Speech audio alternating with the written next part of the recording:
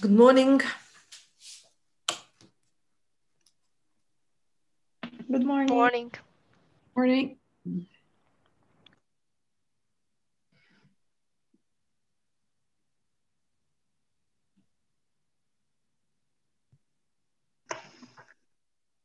Can you, Anna Maria, would you be able to scroll down with the agenda just for everyone to have a good look of where we're um Uh, yes, is happening? Or Luisa, can you do that, please? Sure.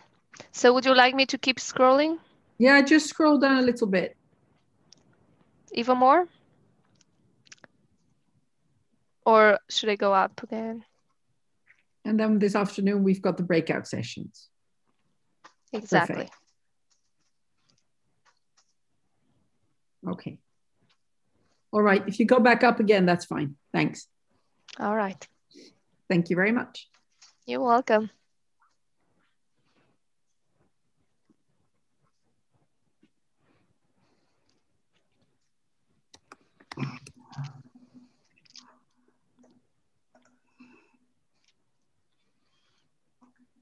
Hi, Luisa.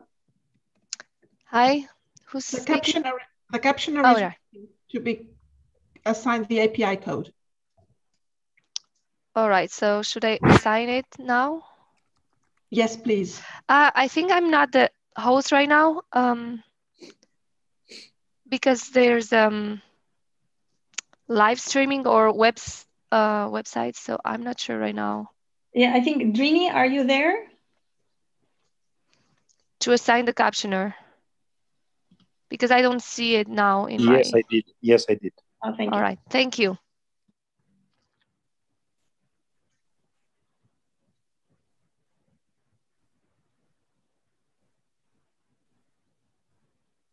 All right, maybe we can give it a couple of more minutes as I see more people are joining us before we start.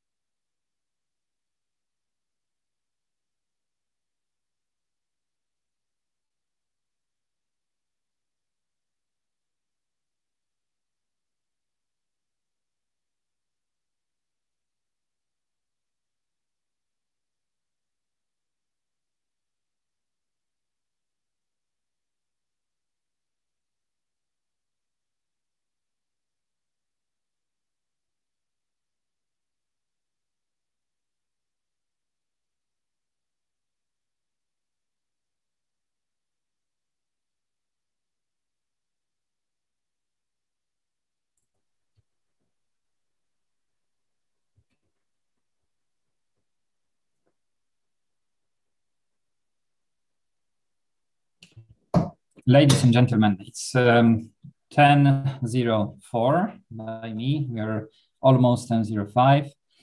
Uh, good morning, uh, good afternoon for some of you. Uh, welcome to the ITU Regional Forum uh, for Europe uh, on digital skills development. Um, my special uh, welcome goes also to a series of the panelists um, whom we will have the pleasure to hear uh, from shortly. My name is Jarosław Ponder, and as the head of the ITU office, it's my great pleasure uh, to open this, uh, this event on behalf of the ITU and also moderate some of the sessions uh, together uh, with um, Anna, uh, who is also the part of the team of the Europe office. Uh, before we are starting our uh, session and the event, I would like to hand over the floor to our technical uh, moderator who will share with us uh, some housekeeping information. The floor is yours. Proszę. Uzyskanie zera w którymś z kryteriów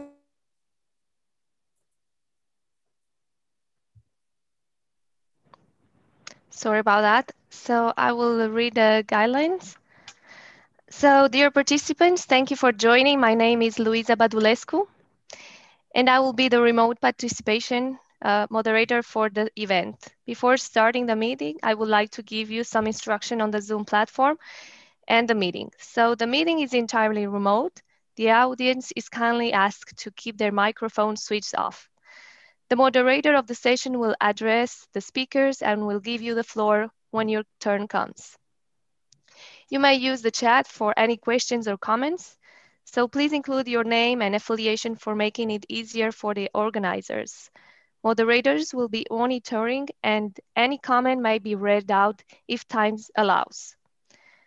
When the floor is open to the audience, please raise your hand to request the floor. The raise hand function is located at the bottom of the participant window. To access the participant window, click the participant button in the bottom bar of the Zoom interface.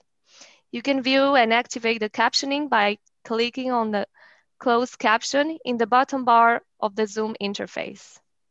We kindly ask you to display your full name and affiliation if possible. Incomplete or suspicious information may cause you to be removed from the meeting room. The meeting is being, is being recorded and the recording will be used for report writing and communication purpose. Thank you. Great, thank you very much for this information. And I would like to inform you that also this event is live streamed uh, on the YouTube channel and the Twitter account of the at ITU Europe. And so we encourage you also to share uh, the news uh, during the event about this through your social media, but also after the event when uh, this um, event will be remaining uh, there for the reference. Today's event uh, format is very special, uh, and this workshop in particular is um, and taking a look at the possibility of engaging the all stakeholders um, in the work on the as on the digital skills. This is the reason why we have also proposed to, during this event to hold the implementation laboratory, which is the example uh, of uh, the way how we can uh, closer interact between each other and uh, to identify uh, certain uh, challenges which are relevant to our regional actions, but more importantly to the national implementation. After the lunch, as you will see, we will break out uh, to the different uh, groups where we are looking forward uh, to have the uh, clear discussions on the digital skills development uh, with uh, the representatives of the government, private sector, and academia and the other groups, and also to take a look how the products of the ITU, in particular guidebook on the development of the on the digital skills assessment, can be of the use uh, for uh, this different uh, type of the stakeholders. So please uh, be prepared for the exciting discussions uh, during the course of uh, today. But before we are starting, we will have also a series of the different interventions coming from the regional stakeholders active in the field of the digital skills, but also from the stakeholders who are um, very much taking a look at this exercise as the opportunity to embark on the journey uh, on strengthening digital uh, skills uh, development at the country level, at the regional level, or contributing to the global efforts. There is no uh, it's difficult to deny that uh, the digital became our new reality, in particular the, during the COVID time. And for the ITU, digital is not uh, something new, but its uh, its dimension um, has been so much strengthened during the COVID time that we are uh, taking a look at, uh, the, in particular, last year as the great opportunity to accelerate digital transformation uh, and, um, in particular, the work on the digital skills, which is the fundamental need uh, to be addressed during the uh, COVID uh, times and any time of the unexpected uh, happening like pandemics. This is the reason why let me welcome today so many great speakers and those who are uh, really uh, doing great progress at the country level. Also, let me thank uh, our colleagues from the ITU, Susan Teltscher, uh, who are leading the digital skills uh, work at our level, at the global level, uh, with the clear objective to strengthen the preparedness of the countries and to transform the connectivity uh, into the meaningful connectivity that all population can clearly see how and to use the all benefits of the digital sp space in the daily life. Before we are embar will embark on the first session, I have a great pleasure also to share with you and uh, some highlights of uh, the work which we have carried out uh, under the regional initiative uh, on the digital inclusion, uh, which encompasses the work on the digital skills. Uh, we took a look at the possibility of uh, seeing uh, what is the dynamics of the diff in different countries, in particular focusing on the non-EU countries, non-EU countries. Next slide, please. Within this context, uh, we tried to take a look uh, following the, the guidebook, um, uh, the guidebook recommendations on the assessment of the digital skills development. Uh, what is happening in the Albania, Bosnia-Herzegovina, Georgia, Moldova, Montenegro, North Macedonia, Serbia, Turkey, uh, and Ukraine in order to be prepared to serve better and to address the real needs of those who need uh, the support at uh, this moment. We took a look at uh, the macroeconomic conditions, uh, skills development policies in the region, education, demand and type of digital skills needed, digital skills gap, and the ICT infrastructure. The executive summary of uh, this investigation has been made in the, uh, on the website. Uh, however, our journey is not stopped there. As I mentioned, the purpose of this exercise was more and to build a community and to build uh, the proper as network of those who are working on digital skills and who are committed uh, to advance digital skills uh, further. Next slide. In general, these nine countries are demonstrating a huge potential for the growth.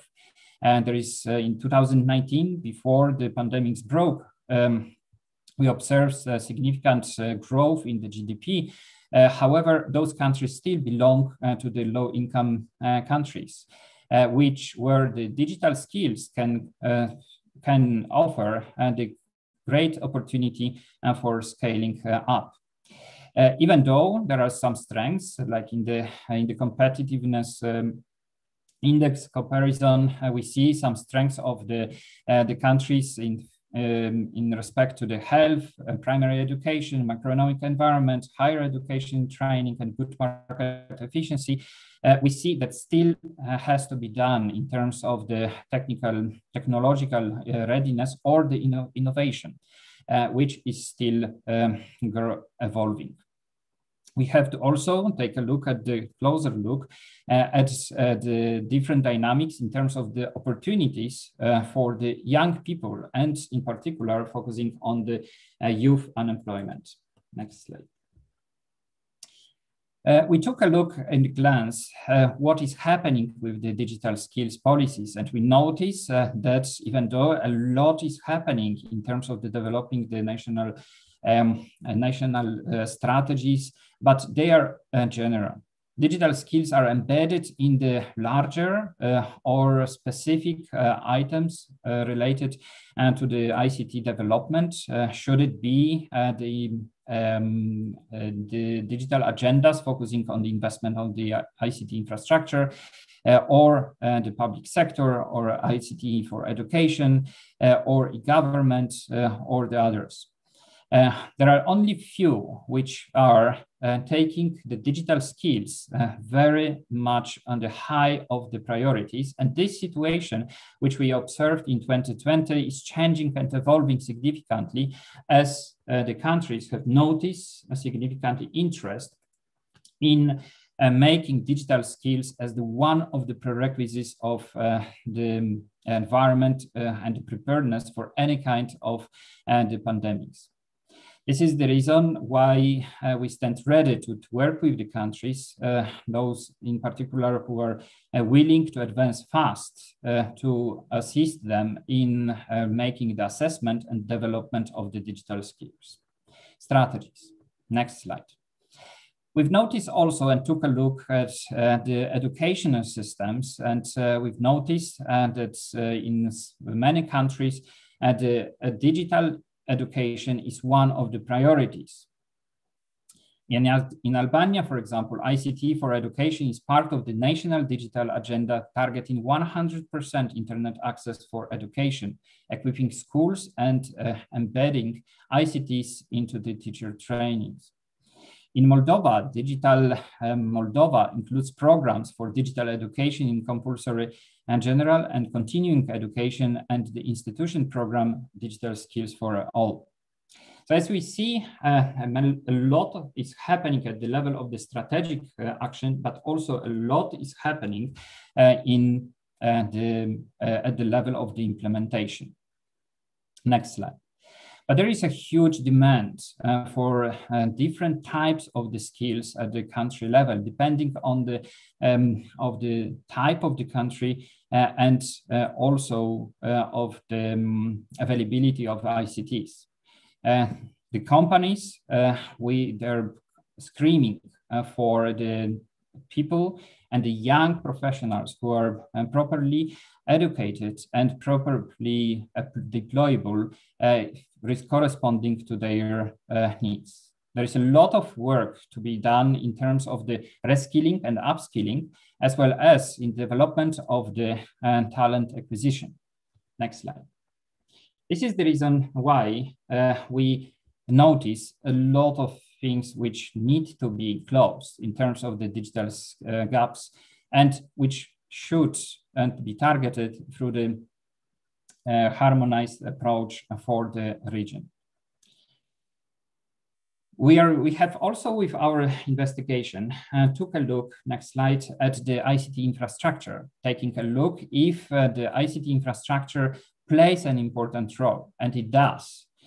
Even though all countries are on the good path towards uh, being the leader in the digital, uh, we are still remaining the mobile uh, society.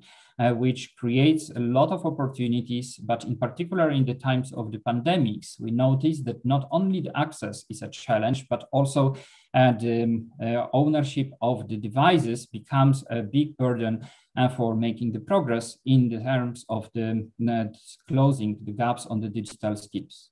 This is the reason uh, why the concentrated assistance to some countries and the special programs uh, developing and uh, ensuring the self sustainability would be of the use uh, and great help uh, to those uh, countries.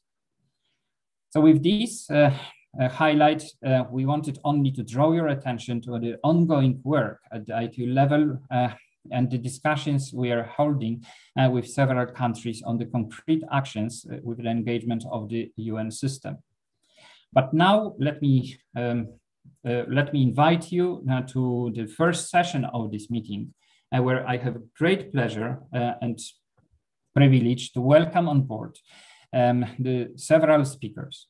It includes Susan Teltscher, head of the Capacity and Skills Development Division for ITU, Agi Veres, Deputy Regional Director for Europe and Central uh, and uh, CIS region of the UNDP, Nina Ferencic, um, Senior Regional Advisor of Adolescent Health development and participation of UNICEF, Isabella Milewska, chair of the Digital Skills Working Group of the Digital Europe, uh, Pranvera uh, Kastrati, uh, senior expert of economic and digital connectivity of the RCC, and Michal uh, Zoga, um, EMEA director of the global uh, partnerships and, um, and initiatives of the Intel.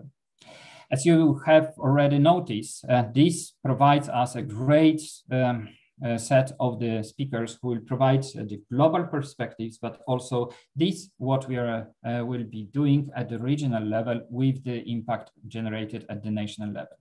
And not to prolong, I have a great pleasure to hand over the floor to Susan Teltscher, uh, who will provide us the overview of the uh, our work and uh, which is happening at the global level. Susan, the floor is yours. Thank you. Thank you very much, uh, Yaroslav, and good morning, everyone. It's my great pleasure to be part of this important um, event and to start off the first session, which will focus on digital skills development in Europe. So what I would like to do um, at the beginning of this session, I would like to put the topic a bit in the broader context of development, in particular in light of the past year and the pandemic, and then also share with you um, how we in ITU um, try to address the challenge through our different um, activities. Um, next slide, please. So let's look at um, COVID-19 first. So if there's one aspect that clearly came out during the pandemic, it's the importance of good internet connectivity and the fact that many people don't have it and were put at a disadvantage. So first, um, according to UNESCO, about 90% of schools were closed at some point during the pandemic, with about 1.6 billion students out of school. And those that had remote learning capabilities that had a huge advantage over those who didn't have that. Also, ITU and UNICEF estimate that about two thirds of school children worldwide do not have internet access at home. Um, second, according to ILO, around 93% of the global workforce were affected by workplace closures. So again, those who had the privilege to do jobs that can be done remotely, or those who had the connectivity and capacity to do that were greatly favored. Um, in Europe, around it's estimated that around 40% of the workforce teleworked at some point during the pandemic. So in the future, we expect that some of the new ways of working and learning um, that are enabled by the use of technologies will continue, but that requires reliable and affordable connectivity and a digitally skilled population. But according to ITU, um, there's still 46% of the world population that is offline, even where broadband connectivity is available. Okay, so next slide, please. So COVID uh, clearly brought about the existing and even growing digital skills gap. In ITU, but also others have found that the lack of digital skills is one of the main barriers to internet usage and that in developing countries, around 65% of people lack the skills to use the internet. But according, at the same time, according to ILO, during the pandemic, employment in ICT related industries experienced the highest growth. But there is a huge skills gap um, globally, um, but also in Europe. For example, if we look at Europe, and I think these numbers are more about the EU, uh, Yaroslav already provided some other info on the Southeast uh, Europe uh, countries. But in the EU, it is estimated that around 40% of the population lacks basic digital skills, that around 90% uh, of future jobs will require digital skills, that there is a huge shortage of IT specialists in the labor market, and only one in six I ICT specialists are female. So it is uh, a global problem. It is a problem also in Europe and uh, it is addressed among um, other approaches through the European digital, uh, the European skills agenda and the digital education plan. Next slide, please. If we um, look at the digital skills and the digital skills gap, at the global level, there is a gap at all levels of digital skills. And you can see here how we have uh, in our digital skills toolkit, we have dis distinguished um, the different skills levels into basic, advanced, intermediate, and advanced. So at the basic level, these are really needed to bring people online, but there's also huge gaps of digitally skilled workers in almost all countries across the world. And these require more intermediate and advanced skills, job ready skills, skills for ICT professions. And with so many people affected by unemployment following the, the crisis or the pandemic, the need for digital skills training will become even more important because this is where many jobs might be found in the future. Next slide, please. So let's look a bit at ITU and some of the solutions that we offer um, in our work. Um, we, uh, our main objective is to develop capacities and skills for the digital economy. Of course, we work uh, globally. We have a big focus on developing countries, and we are looking at three approaches uh, to this challenge. One is through training, developing and delivering training courses, um, delivering capacity development workshops. This is, uh, for example, through our ITU Academy platform, our Centers of Excellence network. Another stream is then to focus on, on research, develop and disseminate research, policy guidelines on digital capacity and on skills de development. And we are very active in engaging in strategic partnerships to do that because we realize that the scaling will come through these strategic partnerships. Next slide, please. Here is a, a, little snapshot of our main products and services related to digital skills. I mentioned already the ITU Academy platform. I invite you all to, if you don't know it yet, to, to take a look and see what kind of courses are offered there. This is mostly for the um, uh, ICT professionals, and we work a lot through the Centers of Excellence program to deliver trainings over the ITU Academy platform. But also I wanted to mention our Digital Transformation Center initiative that was launched last year. And here we work with uh, countries and um, local uh, centers in countries who, de who deliver um, at the community level, more basic and intermediate level, digital skills training, and we try to scale that by uh, creating a network of digital transformation centers globally. And then we have different knowledge resources um, and products on digital skills, such as the Digital Skills Assessment Guidebook that will be presented this afternoon, and which is also a basis for the work um, carried out here. Uh, next uh, slide. So before closing, let me highlight one of our recent partnerships that we are developing with UNDP. And I'm also very happy to see that uh, Agi Veres from UNDP is also on this panel here. So here, uh, this partnership focuses on the implementation of one of the key eight areas that came out of the UN Secretary General's roadmap for digital uh, cooperation. This focus um, area is on digital capacity building and we are working very closely with UNDP and other stakeholders on a number of concrete deliverables and outputs, which we hope to launch this year. They are highlighted here on the slide. Um, we are currently doing a global mapping of all digital capacity initiatives that are being offered by different providers.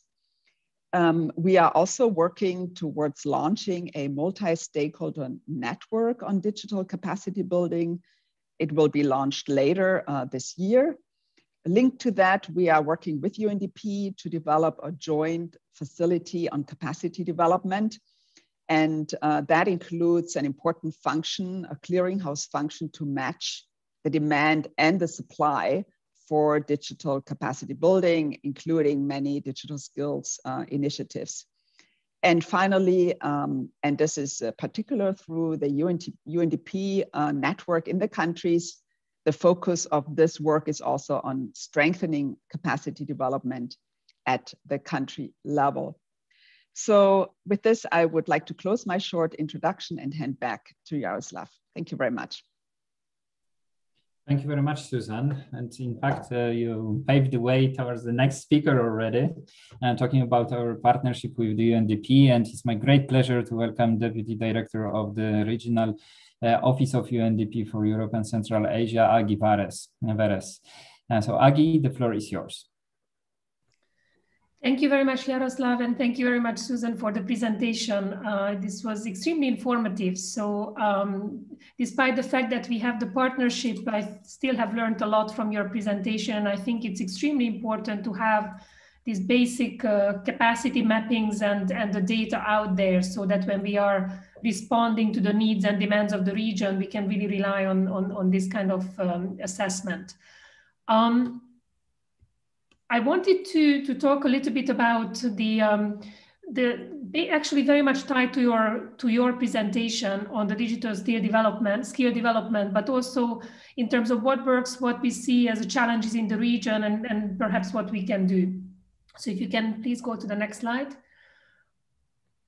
So essentially, I mean, one of the things that we are seeing is if you look at the sustainable development goals, digital is, is everywhere. So essentially, we're talking about a, a theme that's almost like a, um, a, precondition for, for achieving a lot of the SDGs.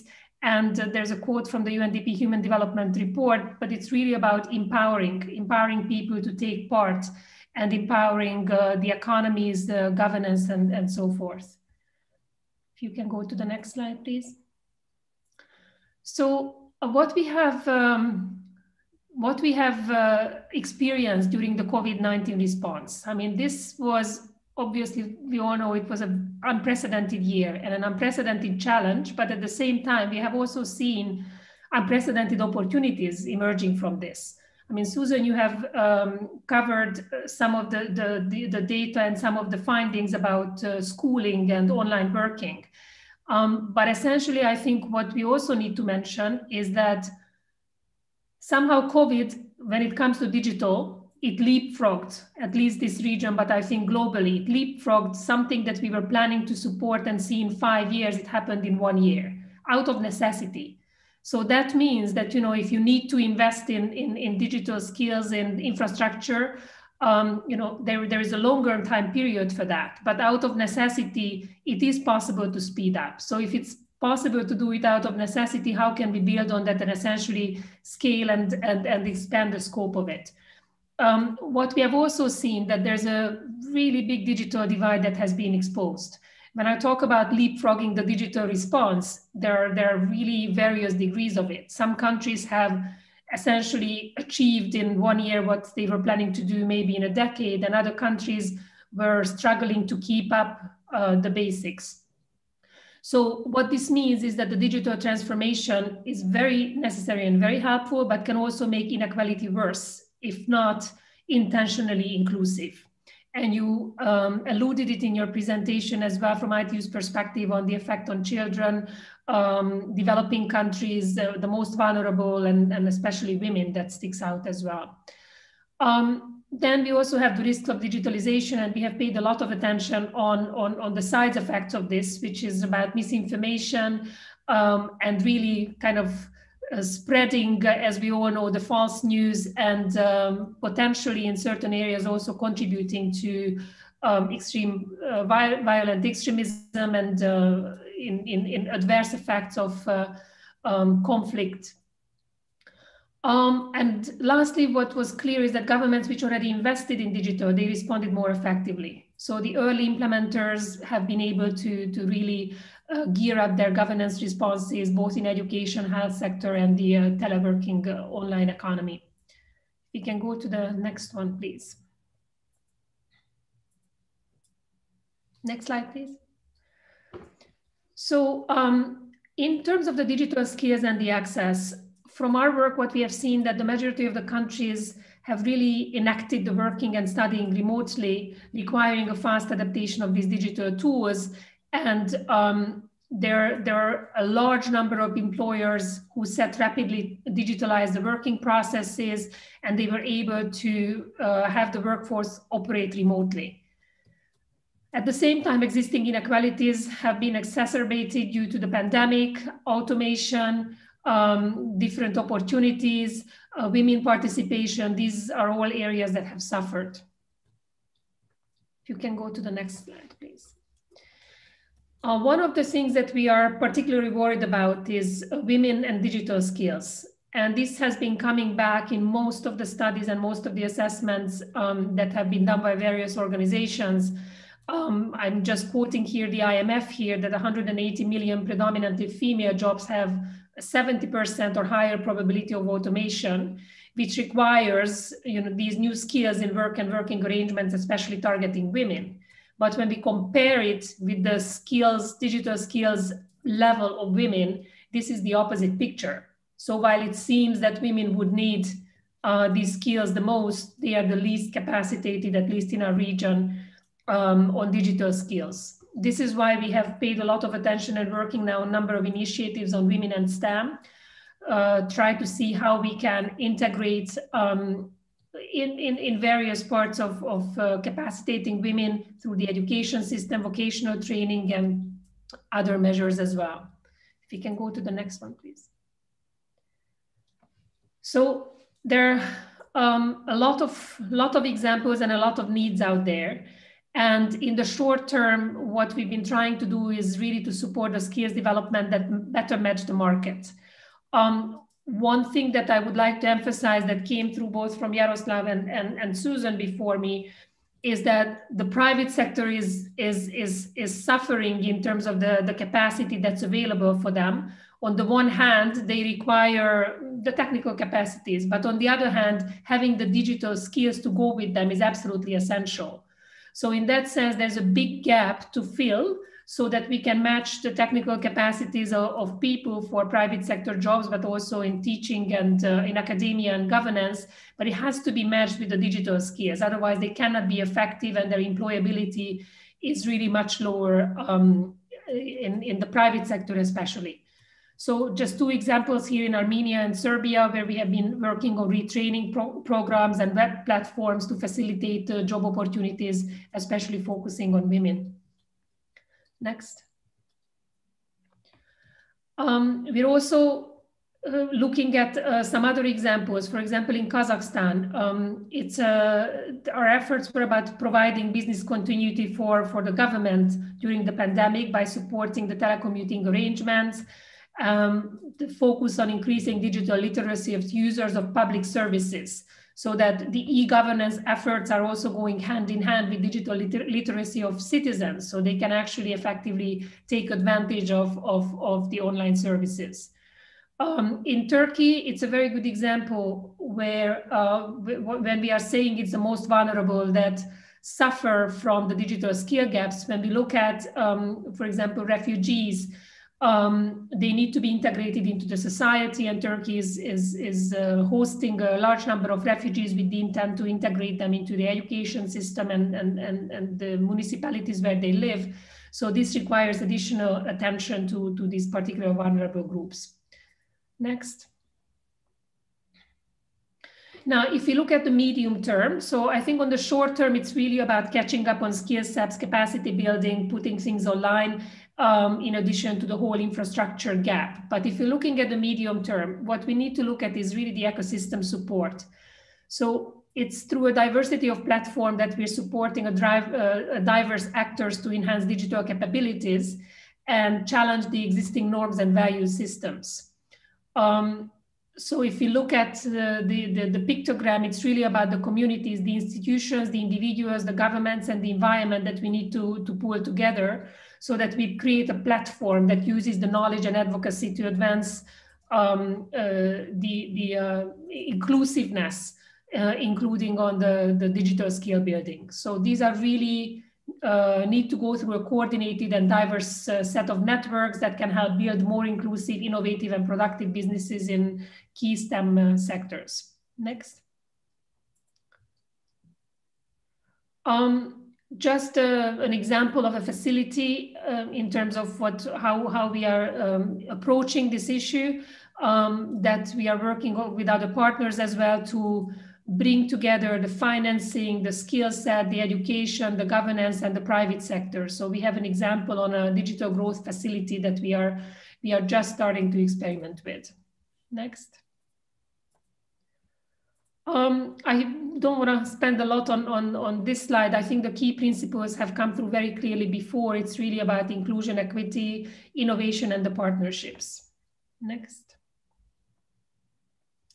So um, in terms of concluding it, I think um, you posed a question before is what are the, the, the key uh, policy measures or key principles that are most important in terms of this digital skills, um, filling the digital skills gap. I think from what we have seen in this region and through the interventions that are happening in the countries, I really would say that if we have one area to address, it's about women and digital skills, because that connects so many issues in terms of the job market, uh, gender equality, uh, women's participation in um, both in terms of uh, the economic uh, and uh, uh, political sphere, and overall empowering women. So I think if we can affect 50% of the population um, and build their digital skills, we have a, a big step forward. Of course, this requires all the policy areas and the government's um, uh, putting the right measures in place. But if I have to pinpoint on one issue, I would say it's women and STEM. Thank you very much. Great, thank you. Thank you very much uh, for this uh, excellent presentation and overview of the approach uh, and also the, the prioritization. This is very important, uh, in particular in the work on the on um, on this subject. Uh, but talking about the prioritization, let us now turn to our colleagues from the UNICEF. Um, to Nina uh, Ferencic, who would, he's representing the, the UNICEF and uh, we are looking forward to hear maybe more of the focus on the youth. Uh, I, I would assume, but let's let's hear. Thank you very much, Yaroslav. Uh, uh thank you very much, colleagues. Uh, my name is Nina Ferencic, and I'm from the UNICEF Regional Office for Europe and Central Asia. Um, uh, I think that for, as Yaroslav said, for us, the key focus is children and adolescents and young people.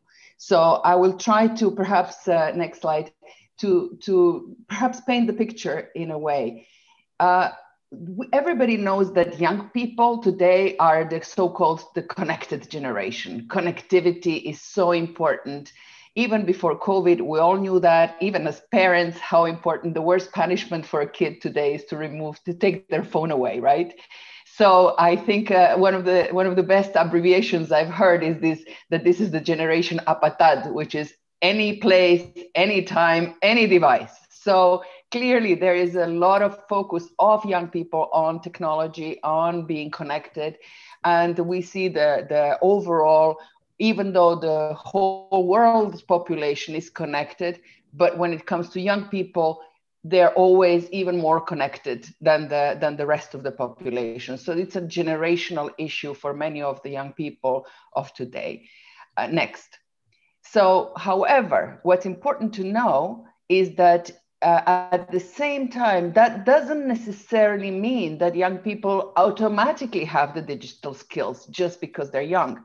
We conducted a number of, of, of uh, assessments and actually um, polls, opinion polls with young people about various aspects of, of learning, of living during COVID and you could see that some that some of the challenges as the world went viral and uh, online uh, some of the challenges they saw they found is the lack of, of teacher training capacity. I mean a lot of things there that they are talking about which actually enter into the sphere of digital skills. So it is not an automatic transition even for young people to have the skills to follow so uh, to follow education, to follow online learning, to follow online, uh, move to online jobs, etc. It requires an investment. So uh, next slide, please. One of the things that we would like that we're doing as UNICEF, we're certainly trying to to uh, work a lot more on equipping learners, students,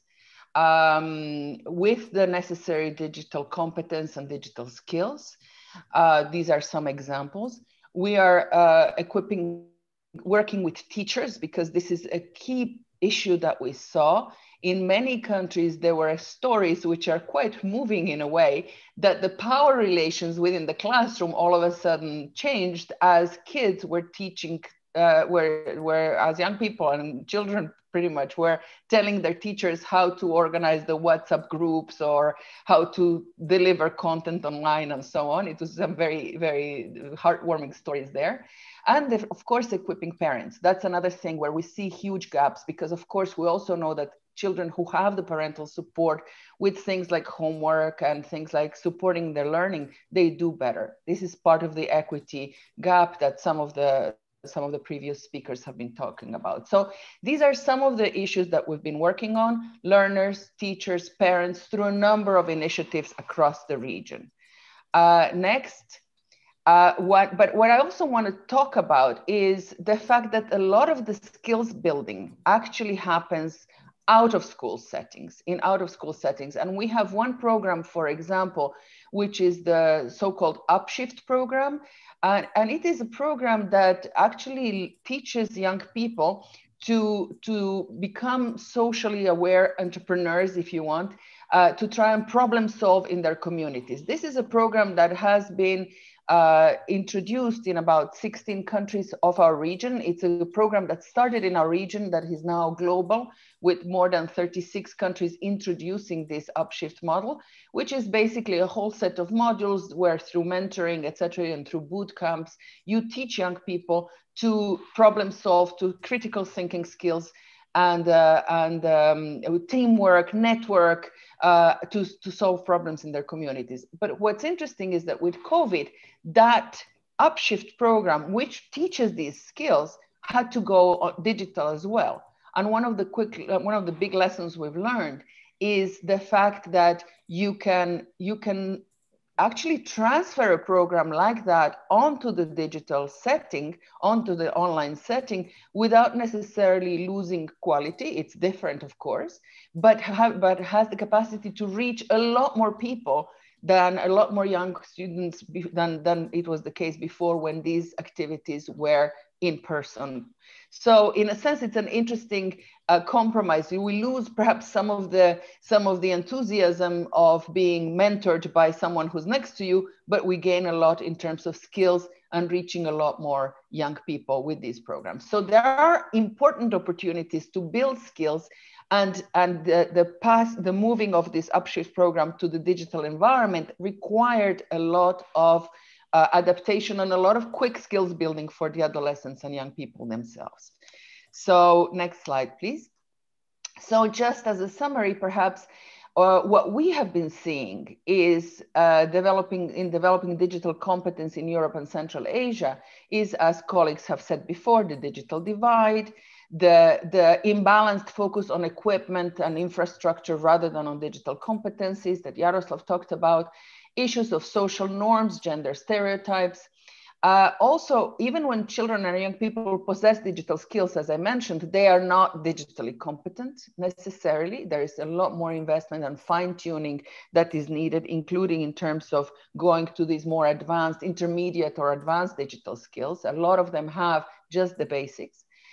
Um, schools so far have been doing a rather negligible contribution to skills building uh, and this there is require there it requires a lot more uh, investment in that a lot more combined strategies combining uh, curricular reforms and digital skills in there uh, parents and teachers, as I mentioned, a key, a key support system for young people. And if they are behind, their young their their students and their children won't be able to progress either. And sometimes teaching parents from early on uh, is is is a way also to make sure that they take care of things like secu- uh, safety of their kids online and so on.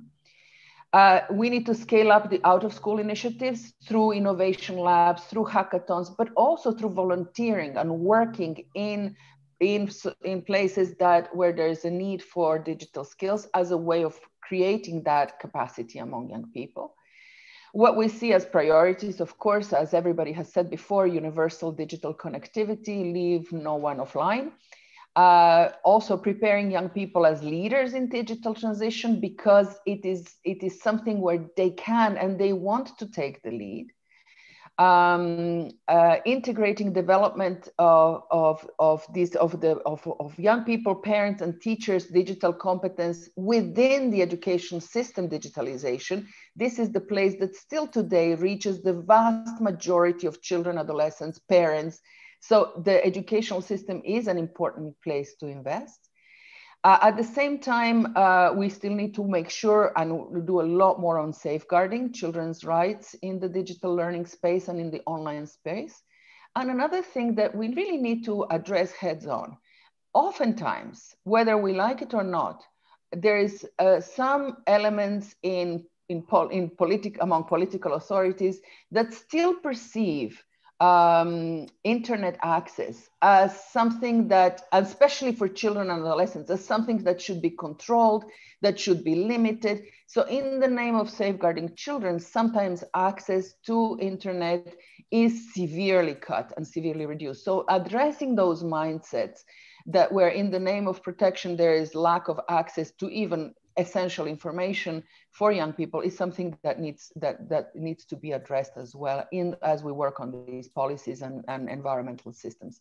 So next slide please. So uh, i think that as we move forward um, what we will be doing uh, together with colleagues on in this call is supporting the digital transition. Um, making sure we work on the youth engagement, especially girls and marginalized young people. I think that the ITU's Generation Connect is an excellent, excellent example of how engaging with young people is a two way street. On the one hand, we equip adolescent, children, adolescents, and young people with the digital skills they need. But on the other hand, they can also be key partners in making sure that those skills are, are, are, are moved and, and connected to others. So the Generation Connect of ITU has already given an excellent uh, set of guidance of what they think is important because they're in the IT field and they know the expertise, the solutions, and the, the online um, the, the they and the young people can, can teach us about how to deal with fake news how we've seen in the covid epidemic how to deal with online violence etc so they are the ones who can come up with the solutions and they are the ones who if we, we engage them better we can get a lot more done but they're also um, they can also help upskills upskill those from more rural and disadvantaged communities. We have some excellent examples of that where there's programs, for example, in Turkey, where the, the Turkish kids are teaching those from, from disadvantaged backgrounds on how to access the internet and building their skills. So they can be important partners as we move in this process of, uh, of, of building skills. We also need a better understanding of the uh, and data on the skills mismatch, mismatch between what's needed for jobs and what we equip young people with. Uh, sound policies and programs on digitalization. Uh, there is the whole issue of certifying digital skills development. This is a challenge because a lot of young people spend their time, build their skills, and they don't have the recognition that they need to then demonstrate this as they seek employment. And of course, the issue of effective partnerships for co-creation, human-centered design, etc., and using some of these as we develop both policies and as we implement programs. Two other things that I'd like to mention quickly is that we are also, as UNICEF, working on initiatives on e-health, especially e-mental health, for young people. This is something that in COVID, we saw that this is a, uh, one of the top priorities for young people together with jobs is to deal with their mental health. We're working on making sure services are available a lot more broadly online to youth. Um, including online counseling, using peers, etc. So we're developing some approaches for that, and we look forward to working with you on that but also we're continuing to work on the issue of cybersecurity, protection of kids online, protection against sexual exploitation, protection of all those things, where we're seeing that the lack of digital skills, even in places like police forces, like um, national prosecutors, judges, etc., is one of the key obstacles for addressing this uh, sexual violence against children and ensuring kids are protected and safeguarded when online. So next slide, thank you very much for your attention. Happy to discuss further as, as we move on. Thank you. Bye. Thank you very much, Nina, for uh, this uh, comprehensive uh, overview of this, what UNICEF uh, is doing and where are the top priorities uh, to go with the uh, advancing the digital skills in, in our region. Um, and now let me turn to Isabella Milewska, who is um, representing Digital Europe. so let me turn to those who are also um, leading uh, in fact, the huge program uh, of the European Union on uh, in this area. we're very much interested in learning more details on this and the implications for the EU countries, but also non-EU countries. So, Isabella, the floor is yours. Thank you, Yaroslav. I hope you'll see me uh, and hear me well uh, as I'm uh, in a remote location these days. Um, and thank you for the invitation. It's really a pleasure and a real honor to, to be within this group of such distinguished uh, speakers. I really listened uh, to the previous presentations with much attention, and I have to admit I've learned a lot. So thank you for, for sharing those interesting insights. Uh, just a couple of words just to introduce uh, Digital Europe. Um, we are actually uh, an association of more than 35,000 um, organizations and companies around Europe that are interested in the digital sector. So we work and focus mostly on the developments within the uh, European Union, but our members also recruit from uh, outside of the EU um, with, uh, with uh, members from uh, from Belarus or from UK uh, for this for that matter. So I have the pleasure to lead the efforts around the digital skills within the working group uh, that recruit its members from companies and national uh, IT uh, associations that are really interested in this topic. So with that, with this couple of minutes, I wanted to give you an overview of how industry in Europe, in the, within the European Union, perceives uh, the, the priorities in the context of digital skills and how we reflect uh, to uh, in, in, the context of the European Union uh, strategies and programs that are being implemented. If I can ask for the next slide. Uh, so, um, in order to kind of like start thinking about where the emphasis should be put on, uh, I like to use the, the digital skills pyramid uh, that has been developed um, by one of the experts uh, in the European uh, Commission. That pyramid obviously starts with digital uh, literacy, goes through digital user skills, practitioner skills, and finally concluding with digital or e-leaders. Uh, what I like to think uh, or reflect on is that there's a difference between uh, those who are digital users and those that are uh, digital creators or digital innovators, those that we want to have within the society as many as possible. And to do that, uh, we should, of course, start and build from digital literacy, but never stop at that level.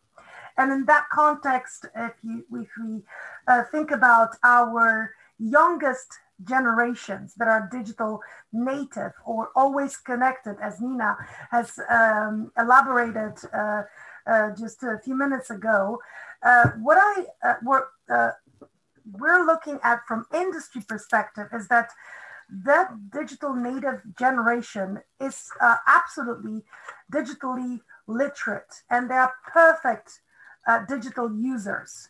But the problem starts when we want to uh, want to mm, sort of convert those user skills into the practitioner skills and aim for digital innovation and digital creativity. Um, and uh, with that, uh, whatever happens with the latest technology, with all the latest uh, technology trends such as cloud computing, machine learning, big data, cybersecurity, all that happens uh, uh, well above digital literacy, or even starts just somewhere in the middle of digital user skills level. Uh, and so if we think about building strategies or implementing programs that would really be comprehensive, we need to look at every step of the way in this uh, sort of digital skills pyramid, and we should strive to, uh, uh, to, to create, to produce as much talent as possible that will be really ready to, to create and to innovate in this uh, digital um, uh, industry. Next slide, please.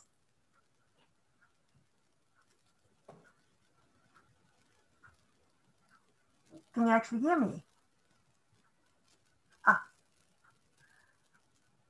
Uh, slide before? Yeah, this one. Thank you. Yep, that one. Thanks. So a couple of considerations when we think about uh, building strategies around digital skills from a perspective of uh, industry actors. First of all, uh, we certainly need to focus on securing the right level of digital skills within the future workforce. So those that are uh, uh, students in the primary, secondary, and also higher education. Uh, that said, though, we cannot forget and we cannot um, uh, stop thinking about what happens with the current workforce, what kind of reskilling and upskilling uh, people that are already uh, that graduated from uh, any formal education institution need to convey in order to be ready for digital jobs of tomorrow. When it comes to future workforce, absolutely connectivity and, and broadband is key and the availability of the right devices for learning, uh, as well as uh, developing new hybrid learning models that are ready for in-person delivery as well as remote learning. Uh, but that should not be disconnected uh, from making sure that the teachers are ready for that technology eh, revolution. Uh, it was already mentioned that actually teachers' readiness is absolutely key. And you know the, the youngest generation are actually struggling to follow uh, online classes, not just because of uh, some uh, issues with the technology, but also because the fact that teachers not, are not always ready to deliver on a quality class uh, the, remotely. And then digital literacy really defined not just uh, as very basics, uh, such as using the computer, using the internet, but including programming and coding, uh, computational thinking. And it is uh, in line with, with the fact that we really want to develop uh, and produce as many uh, digital creators and digital innovators as possible. Nowadays, really, digital skills should be defined not just as a sort of pure technical uh, knowledge, technical skill set, but really as a combination of both technical, analytical, and problem solving skills, including that focus on lifelong learning and readiness to learn throughout the entire uh, professional career and professional life. You cannot stop when you graduate from a school or university. You have to continue. And that leads me to uh, to the to the considerations around the, the current for, the workforce. So I mentioned reskilling and upskilling, upskilling is absolutely critical. Uh, we need to be mindful of what are we reskilling or upskilling for. So, what are the jobs available in the local market, on the global market as well? Today, when you uh, when you can uh, deliver on your work remotely, your employer can be on the other end of the world as long as you know what and how to deliver. And so, uh, this sort of thinking globally but acting locally is absolutely critical building strategies that include the industry actors that include local employers that will help define what's needed is absolutely critical and combined with that focus on advanced digital skills, uh, as well as making sure that whatever the training program you build, there is a path to employment for that individual after uh, finishing the training. It's absolutely key. And with that, a very important aspect of it is uh, skills validation, uh, defined as industry-led certification as, and micro-credentials. Today, employers will, uh, will not want to wait four years to uh, produce new talent coming out of the university. They need that talent today so that they can innovate faster. And so those short courses or medium uh, uh, term courses and programs are super critical. And one last thing, we should not forget about supporting the small and medium businesses. Large enterprises will be able to reskill or upskill their employees faster or slower, but they will be able to make that happen. Small and medium businesses will always lag behind unless the government will not step in and form a, a real partnership with the industry, with the training providers, so that the, the skills that is needed, that are needed for the employers, for the small and medium businesses are there on the local market. And with that, I'm gonna turn to my last slide because uh, I wanted to conclude with uh, what at, at, Digital Europe have we developed in order to support you when thinking about the strategy, how to build key performance uh, indicators, what are the best practices, and also some uh, operational recommendations when it comes to digital skills projects and what it takes to make those projects successful. Uh, we build those um, those documents, the strategies, really thinking uh, and and considering uh, a great um, sort of uh, vision that is out there uh, by the European Commission with uh, with a digital decade vision, with Pact for Skills, with the Digital Education Action Plan. All these initiatives are very much needed and um, the industry hugely supports that. And so, uh, as Digital Europe, we've built uh, a Vision 2025 where we've uh, covered a number of uh, sort of areas that are important. That includes digital skills, next to, of course, infrastructure, digital healthcare, digital manufacturing, um, and so on key performance indicators that are super key uh, to, to think about how the success is looking like. And in our case, it is the number of people trained, the number of people certified, the number of people that got a new job, uh, but also how the, uh, let's say, how is the presence of women reflected in the ICT job market? The investment plan, as you know, European Union, or you may you may be aware of it. Uh, European Union has put uh, a lot of effort effort to put uh, to uh, introduce the the recovery funds um, in the context of COVID, but also uh, the long-standing investment with the structural funds, uh, particularly European Social Fund, and so on.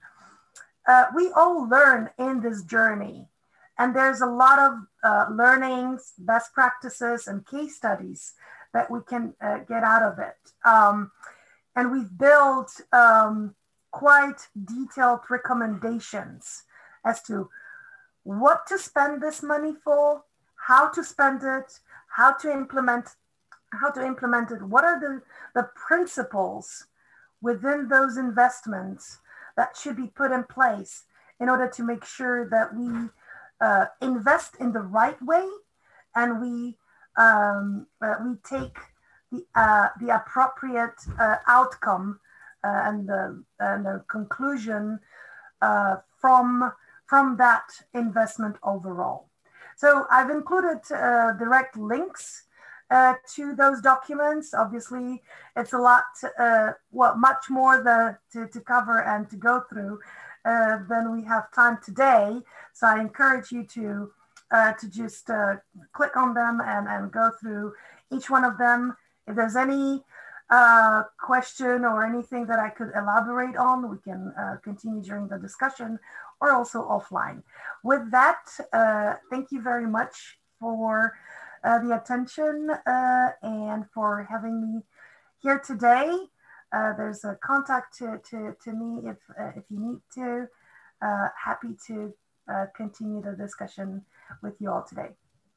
Great, thank you very much, Isabella, and thank you very much uh, for bringing uh, the private sector perspective. We are valuing uh, this very much, and we're looking forward to, to continue uh, collaboration and strengthen collaboration with Digital Europe as the platform um, associating so many private uh, sector stakeholders active in, in the Europe.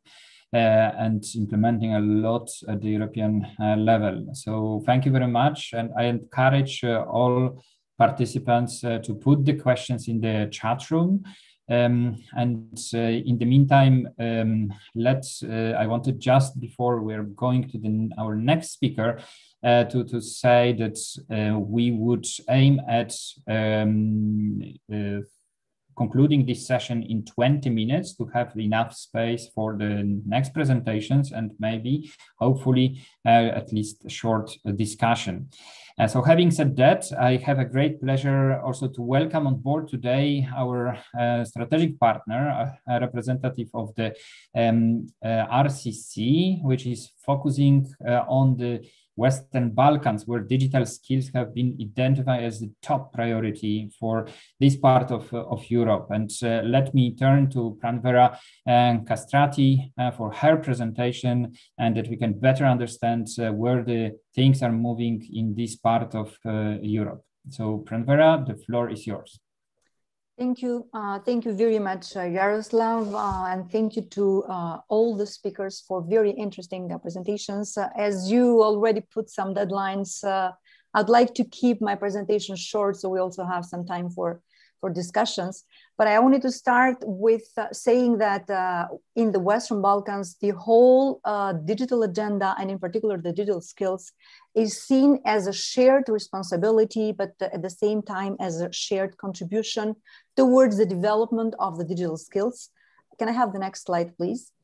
And uh, also just to uh, uh, kind of give some additional flavor of uh, where the region is and uh, how the COVID, uh, the, the, new realities induced by COVID impacted our region. Um, the industry prepared a study in December 2020, and it showed indeed that there is, there is an increase of the use of digital content by the Western Balkan citizens in, in in general. And it is very, uh, uh, very noticeable that the greatest increase is in education, in social networks, and the information sharing, while uh, the Western Balkan citizens are it, it, should be kind of worrisome that they're using uh, the uh, they're using the internet uh, less and less to, to communicate with the public administration or to, to shop online, which already shows uh, the necessity to focus on this uh, on this aspect. But in I mean, not surprisingly, but uh, the increase for digital education and the use of digital content and, and services of the digital platform in education has dramatically increased. And 44, 44.5% of the citizens of the Western Balkans were satisfied and they will continue to use the digital education. However, uh, they're, they're also very keen to, to go back to some traditional, uh, to some traditional education, which would lead uh, to additional needs in the area of digital skills. Next, please. Thank you. So uh, where we stand in terms of digital skills in the Western Balkans, uh, these are some data that uh, we have used in a diagnostic report uh, prepared in December 2020. And you can see that uh, uh, the, the, level of digital skills across the Western Balkans vary a lot yes, also we see that there is a lack of data, and not all economies uh, provide data for digital skills uh, so that are comparable among them. However, uh, this is something that uh, you can see also in Europe, and although we see an increase in, in the individuals having basic digital skills uh, in the Western Balkans, still we are below the average of EU member states in this. And given that EU member states are the mirror uh, where we see uh, towards the, the, benchmark we want to go, this is something that uh, that we uh, really work uh, work a lot. And you can also see that this this shared responsibility I mentioned between government, private sector, um, education, and also providers of the trainings across world if you want to if you want to call it but also in the western balkans uh, we have measured this uh, through the Balkan Barometer, uh, in particular for the industry. And uh, again, uh, it's the third uh, year in row that digital skills is very important for our businesses. And uh, for 80% of the managers, they, they claim that the need for digital skills in, in their businesses is very important, while it is a necessity and one of the two topical areas where most employers would require their workers to advance, so to upskilling uh, their, their, um, their knowledge is basically in digital skills. Next, please. Without uh, without uh, without uh, burdening further with uh, many figures, uh, I wanted to um, I wanted to flag where and what is the way forward for the Western Balkans and what what we are doing as a region. You all may may may have heard that uh, during the Sofia summit uh, in November last year, the Western Balkan leaders adopted the Common Regional Market Action Plan, uh, through which the uh, Western Balkan uh, economies committed to have a coordinated regional response to the digital skills. And this is why uh, we have already networked and we have already established a regional working group that addresses the digital skills from both demand and supply side. And this is important to flag that this working group does not uh, encompass only the Western Balkans, but also has members from the international organizations having a specialized expertise in the field that can support the region. While uh, we are, uh, through this uh, uh, common regional uh, common regional market action plan, uh, the leaders have also put emphasis on the balanced approach between the national needs and the regional needs. And this is also important to flag that Western Balkan economies vary among each other, uh, not only in their uh, uh state of development, but also in their EU integration process. And that, of course, drives their agendas based on, on their national needs. But at the same time, being a small uh, region and also small markets, they tend to cluster and they tend to uh, um, altogether see how to make supply chains uh, more uh, remotely movable or interchangeable across across the economies. And for this, uh, they are all very much dedicated uh, to develop digital skills, strategies, and also tailor-made action plans. And this through uh, dedicated training programs, coaching, mentoring, also liaising with academia, liaising with the private sector, with leaders that would like to uh, move, uh, would like to push forward the agenda in, in digital, digital skills development. Next, please. And what we are doing uh, in RC very shortly, uh, what we are trying and what we do in RCC, uh, as already uh, mentioned, we have already established this, the, the permanent regional dialogue on digital skills. And uh, network the Western Balkan leaders, uh, sorry, Western Balkan institutions engage in the digital skills and also expose them to the work of other international organizations uh, um, working in the area of digital skills. And I'm, I'm glad to say that uh, some of you are already members of this working of this working group, contributing with with the expertise in the discussion of the Western Balkans. And uh, we have already defined the agenda for um, the upcoming four years until 2024. And uh, in in this particular uh, element of the digital uh, skills development, we in RCC uh, have engaged together with the Western Balkans in a scoping exercise where we are uh, pre-assessing uh, the, the needs or the priority sectors and priority uh, target groups for which a fully fledged assessment of gaps and needs is required. We are at the final phase of um, fine-tuning the report and we'll have soon uh, the report shared with the Western Balkan economies to validate the priority sectors. But we are glad to say that, for instance, the uh, public administration is one of the target groups that is mentioned by all economies and uh, given that they are the ones who develop the digital skills strategies, digital, digital skills policies, we believe that having a focused uh, and a tailor-made uh, support for them is important, while uh, three priority sectors have been already identified, and I'm, I'm glad that this might also help to uh, some additional clustering or, or support in supply chains that the whole region is, is um, is increasingly uh, seeking for support. Uh, we hope that through the peering and networking in a structured manner, the region would be able to respond to the needs and while addressing supply and demand. Uh, I also wanted to share with you that very recently ETF, European Training Foundation, did a self-assessment of the uh, needs in the education uh, sector across the Western Balkan region. And it, surprisingly, although all teachers are saying that the need for digital uh, skills is there, it is not uh, very, uh, let's say, very prominently coming from them what exactly uh, the skills they are required to have and what they would like to be further trained in the in the years in the years to come. the last, but also very important point is showcasing and sharing experience of, of the region.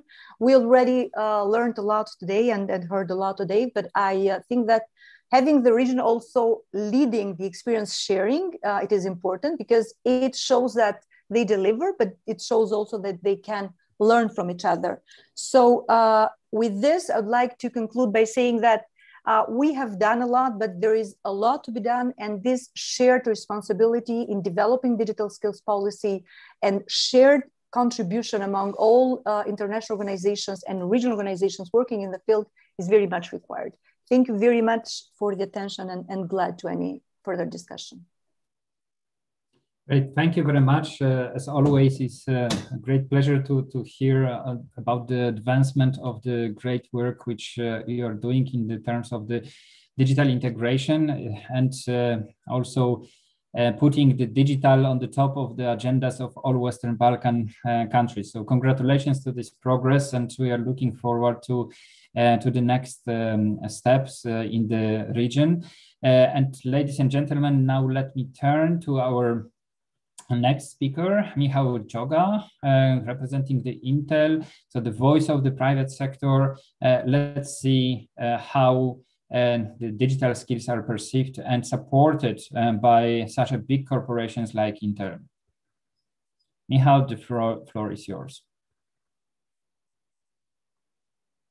Okay, now I'm unmuting myself. Thank you, Rosa, for, for introducing me yeah so be, being the last one in the line is also of course gives me a privilege to a little bit uh, you know reflect on what others said. And uh, there was a lot uh, really interesting topics uh, topics covered.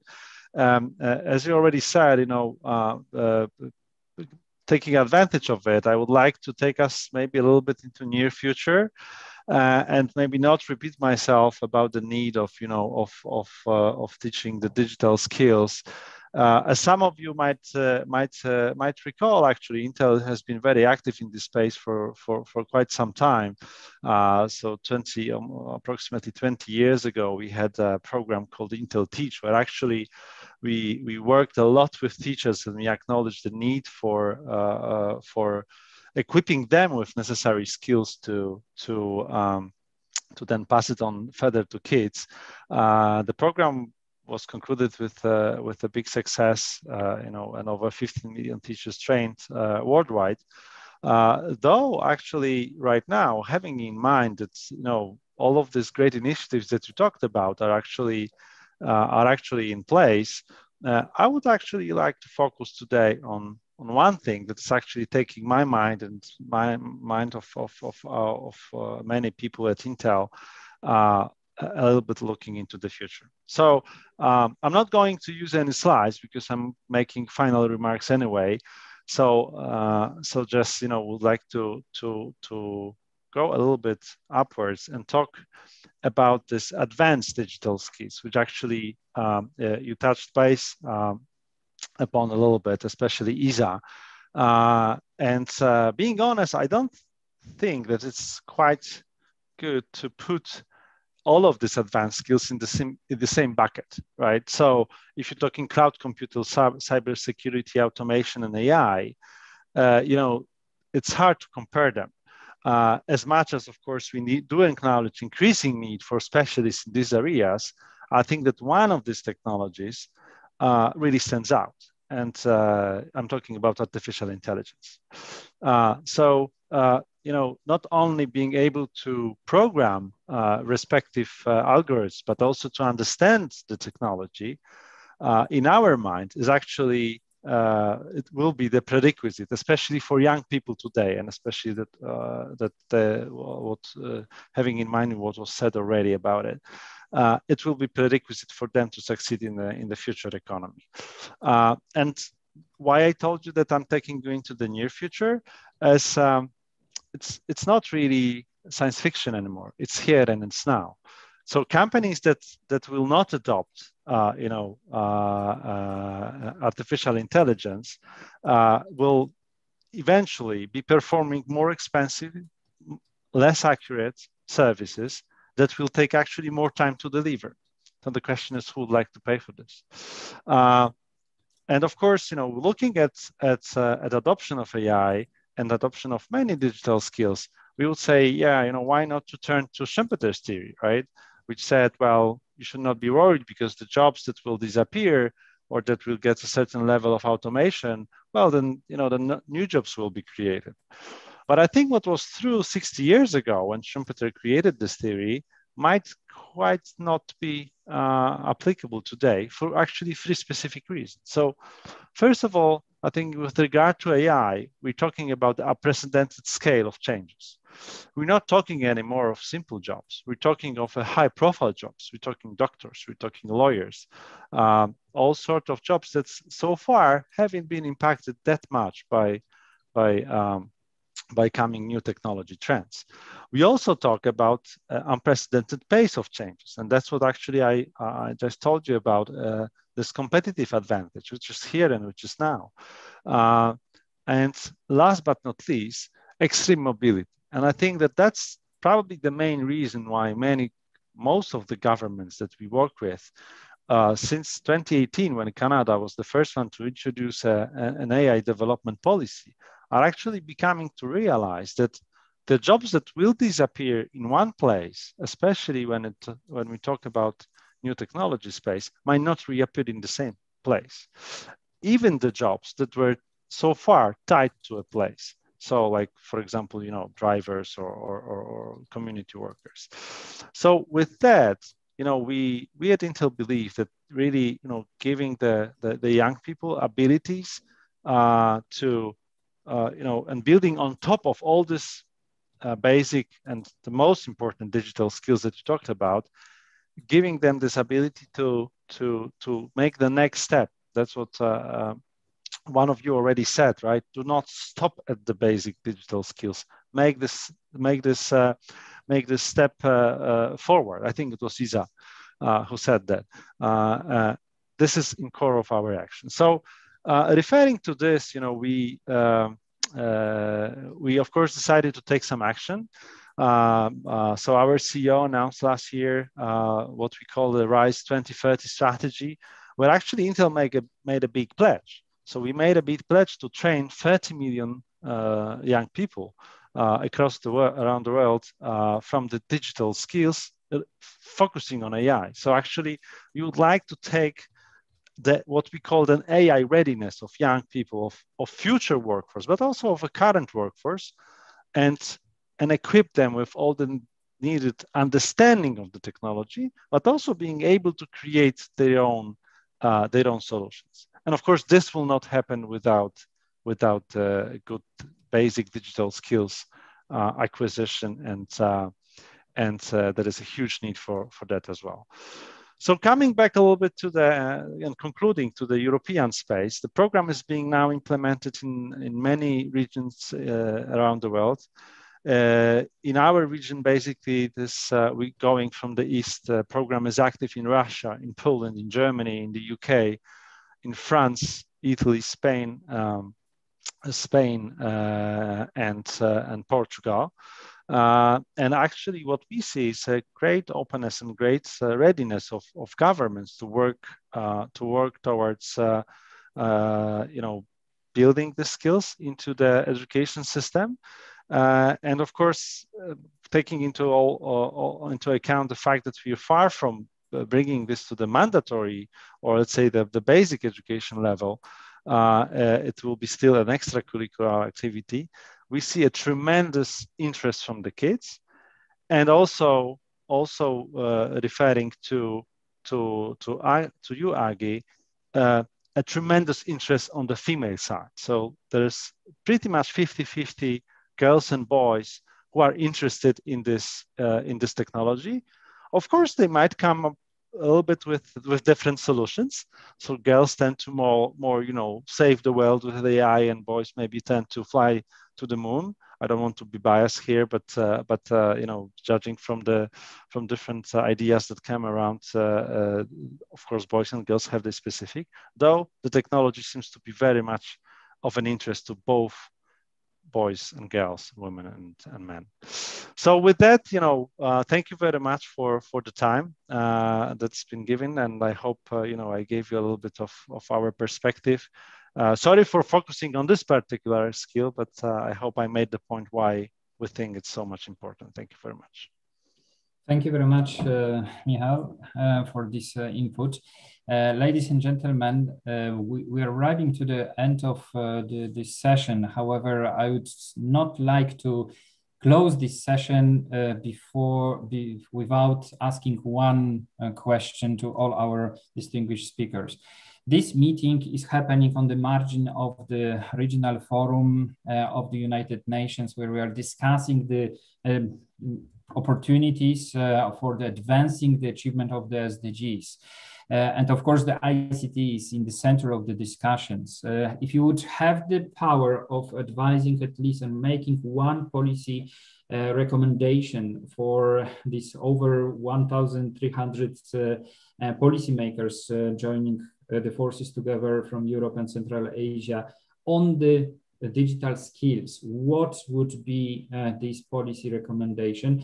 Uh, and also, uh, if you'd be also able to, uh, to say a few words, what in from your perspective uh, is key in order to strengthen the partnership building in the field of the digital skills development in, the, in our region? So I would uh, start from uh, our, our colleagues from the ITU, uh, and then we would go follow the order of, of all, all speakers. So Susan, I'm turning um, over to you. And be, please be concise, taking into account that we yeah. are running out of time.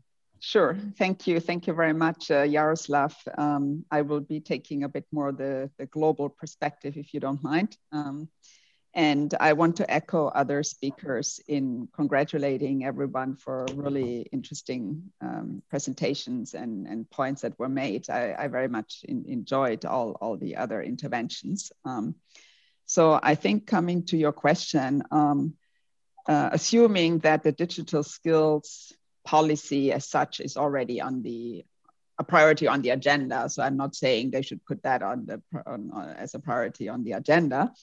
But um, but I would say, um, and this refers a bit also to our work uh, because that's why we focused on that. It is really, really important before you plan your policies to do the national assessment uh, and to take stock of um, what are the skills level in your country, um, who has what skills exactly, who is providing what training and skills, what is the need from the industry and by whom, and all of that needs to be linked very clearly to the national um, development strategies because we heard a lot about job ready skills. Uh, but we need to be very targeted if we want to be effective and have a, and have a good impact. So for me, it's really important to do this exercise uh, before you um, move on and, and formulate your, your very detailed um, strategies um, later on. And then on, on the other question, and I saw that also in the chat on how can we pull together and how can we, we uh, combine and see how we can scale up by, by partnering. I would like to, to come back to what I mentioned in my presentation the um, the multi-stakeholder network we are developing with UNDP uh, and other organizations in terms of bringing together precisely all the different initiatives and uh, stakeholders who do work in this field on, on, on digital capacity um, development. And if any of you are interested in uh, knowing more about that, I know that we are already collaborating with, with many um, agencies and other stakeholders on this, then, then please let me know and, and we will add you to this, to this network that is being developed. And we can also include all the initiatives that are being provided by, by different stakeholders in the, in the global database that are being developed right now under, under this, this framework of the SG's roadmap on, on digital cooperation. Thank you very much, um, Jaroslav. Great, thank you very much uh, uh, for this. And now let me move uh, to Agi. Thank you very much, Jaroslav. And it was really interesting to hear, to, to, to listen to all the speakers bringing in different perspectives. So you asked for policy recommendations and partnerships. So as we were talking and also from our work, I will propose uh, one thing that's covering both, which is I think we need public-private partnership policies that are promoting digital skills development. And what I mean by this is that we need the private sector's capacity to, to do this because you know the, the demand also for the skill set is there. So in a way, it's the capacity of, of, well, it's the knowledge to know what is needed, what's the demand, and actually there's a lot more capacity there for training and um, overall coaching and you know different kinds of capacity building, not just simple schooling and training um, that could work with, with the uh, public sector that uh, would uh, put in place policies for promoting the mo most vulnerable to close the digital divide. So I think you know this kind of public-private partnerships uh, partnerships with us um, to, to really address the skill gaps that would be very beneficial. Thank you very much. Okay, great. Thank you very much uh, for this. Uh, and now let me turn to Nina. Uh, thank you, Yaroslav. Thank you for an excellent session. I would say for UNICEF, the main message is involve adolescents and young people in all areas of planning and policy development.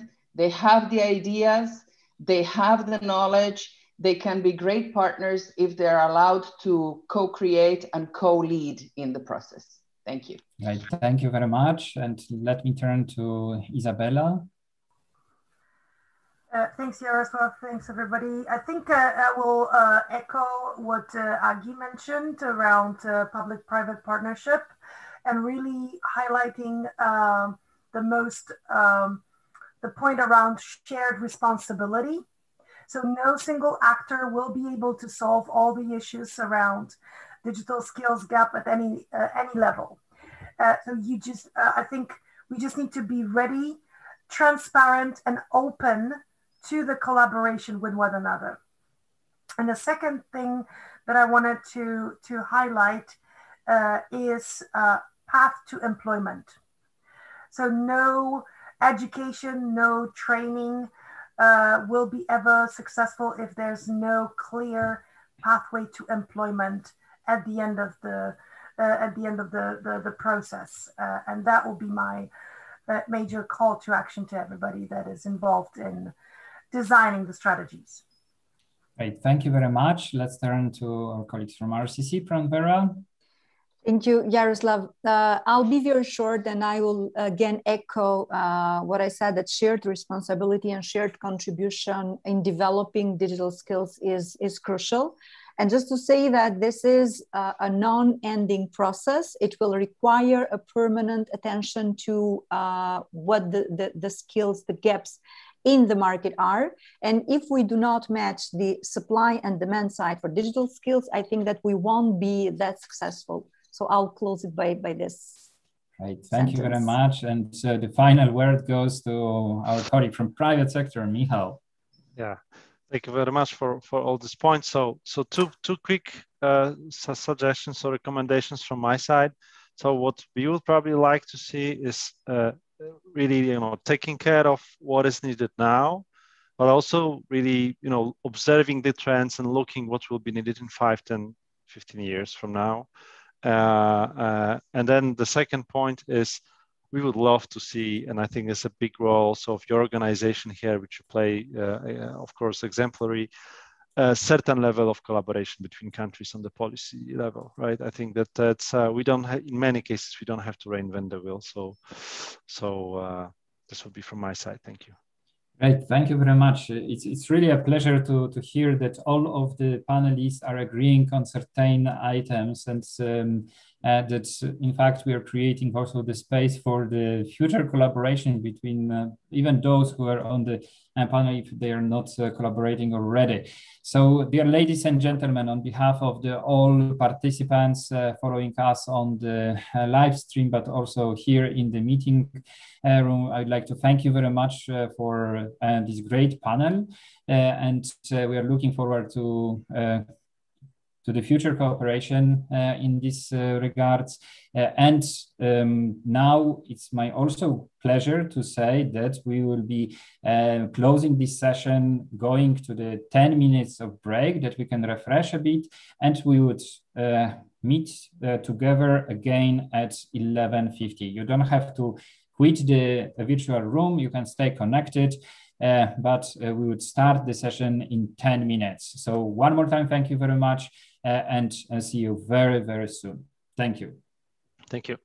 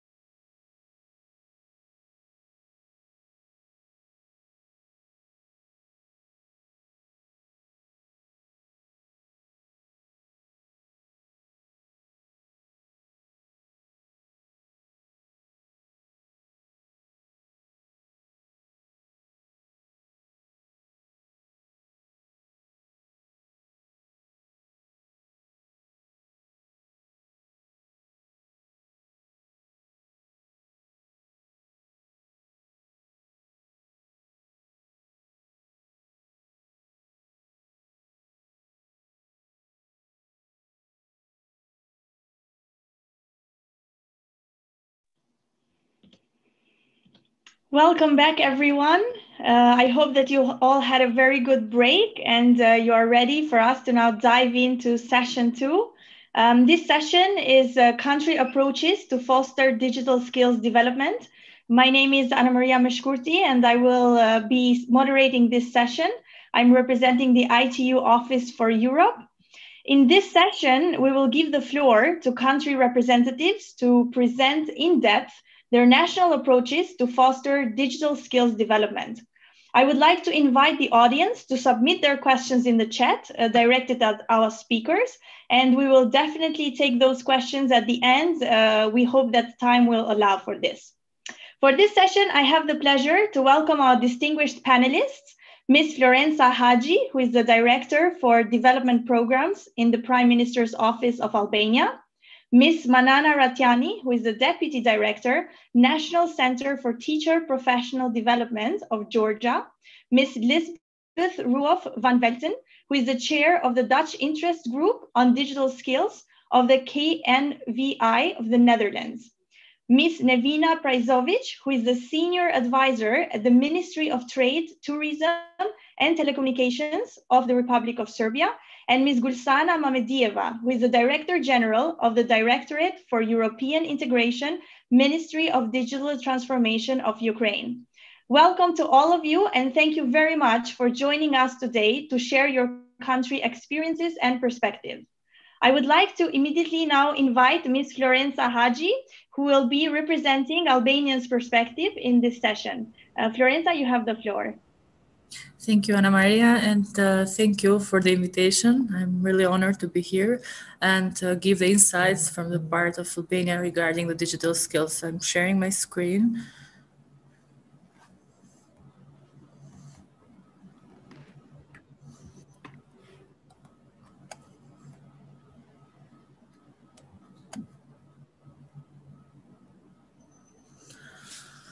Uh, so, as we saw also from the from the first uh, session, uh, uh it is very important that we uh, see when we talk about digital skills, we see three perspectives, and they are of course interrelated. But we, we, when we are talking about digital skills, we have in mind digital skills in youth and in students and in pre-university students. We have in mind also digital skills for the private sector, and we have in mind digital skills for the government services, so e-government uh, skills. So regarding these three perspectives, uh, this is where I'm going to focus in today's uh, presentation. And as I said, they are interrelated and all the policy making uh, uh, should be uh, somehow focused in these three perspectives. Regarding the uh, unit that I represent, it is called the uh, Development Programs Unit uh, and Cooperation. It is, uh, we are in the Prime Minister office. We are responsible mainly for coordinating among different actors, especially for fields and for areas that needs a lot of coordination, where one ministry, let's say, cannot do the coordination alone. So we assist with that. Uh, we also are responsible for uh, developing um, and drafting, together with line ministries, uh, development programs, which are uh, not strategies, but they are strategic documents that are more operational, where you have also pilot projects inside, etc. Uh, so, uh, regarding the digital skills in Albania, if we could place everything in one slide regarding the uh, responsible institutions would say that uh, there is the prime minister office as i said a, has a coordination role mainly. Then it is the ministry of education and sports which deal mainly with the part that has to do with uh, developing digital skills in uh, young uh, students and university students Ministry of Finance and Economy with the VET, uh, the professional uh, training uh, programs, uh, ministry, and also the private sector incentives. Uh, the National Agency for Information Society, it is responsible and it uh, is leading the, it has a leading role in developing the digital agenda in our country. it is also the Ministry of, of technology, um, the Ministry of Infrastructure and Energy that has the part for policy making that when it comes to uh, digital telecommunication uh, uh skills. Uh, then there are also other agencies that have a more executive role.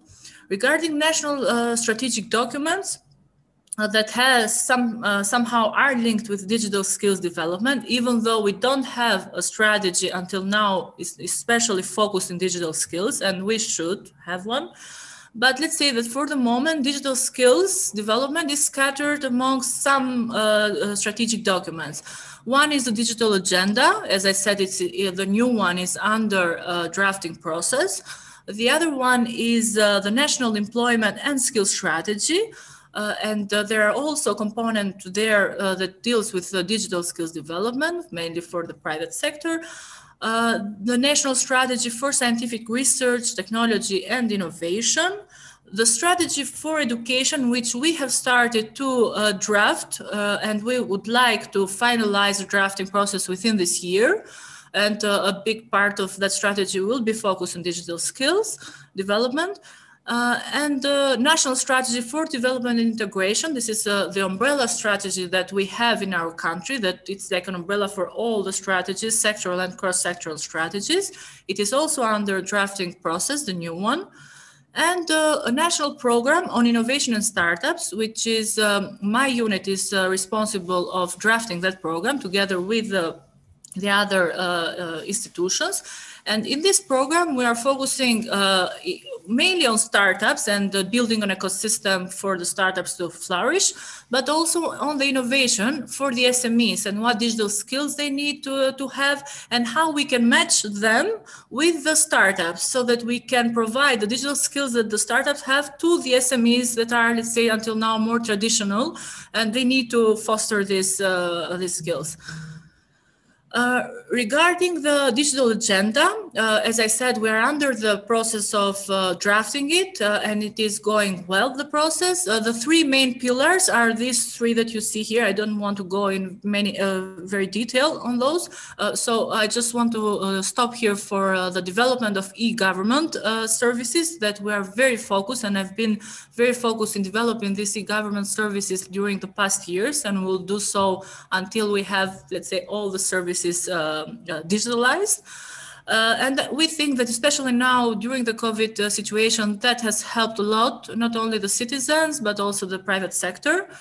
Uh, and uh, another pillar is the enabling and developing basic and advanced digital skills as you see it, in order to involve the population in ICT services and increase ICT professionals. So here, this will be breakdown in a series of measures on how we are going to do that. Uh, regarding the demand uh, for digital skills in, uh, in our country, the current demand uh, is linked to the changes that the economy is undergoing, especially now with the COVID crisis, and uh, is this uh, desire of society to move closer to digitalization. Uh, and this was a desire not only now with the COVID crisis, but we have seen that uh, uh, also before the COVID crisis. Let's say that the COVID crisis just brought it more into focus. Also, the majority of society owns basic digital skills and technology competence. Uh, such as using electronic products, software uh, products that are easy, let's say software programs, social media, and uh, may, most of the society they know how to do online transactions, easy online transactions. Uh, a significant part of the population, uh, mainly those around 15 to 25 years old, they own uh, intermediate digital skills, uh, which means uh, that they have knowledge that they have received in educational uh, in the education system mainly. Uh, that and they can use these skills also for employment, let's say, reasons. Uh, now we have uh, already, as I said, started to think. Uh, when we, when I say we, I mean the policymakers uh, to think uh, to, to, how to develop policies that are pro innovation, uh, pro youth, pro digitalization. if we divide these initiatives that we have taken so far in soft measures and hard measures, let's say, the soft measures, uh, uh, we have focused mainly in providing the legislative framework, let's say, that would, would help the youth to uh, to flourish and then to to uh, develop their skills and to be more competitive in the employment uh, market. uh, we have uh, started, uh, we have developed and drafted a law on uh, startups. We have also gone through all the procedure for uh, public consultation of that law, and as we speak, it is uh, it is in the final stages of being approved. Uh, and this law, we uh, we have given there, uh, we have uh, focused in all the incentives that the youth needs in order to uh, open a new uh, business that is innovative business and how the government can help them.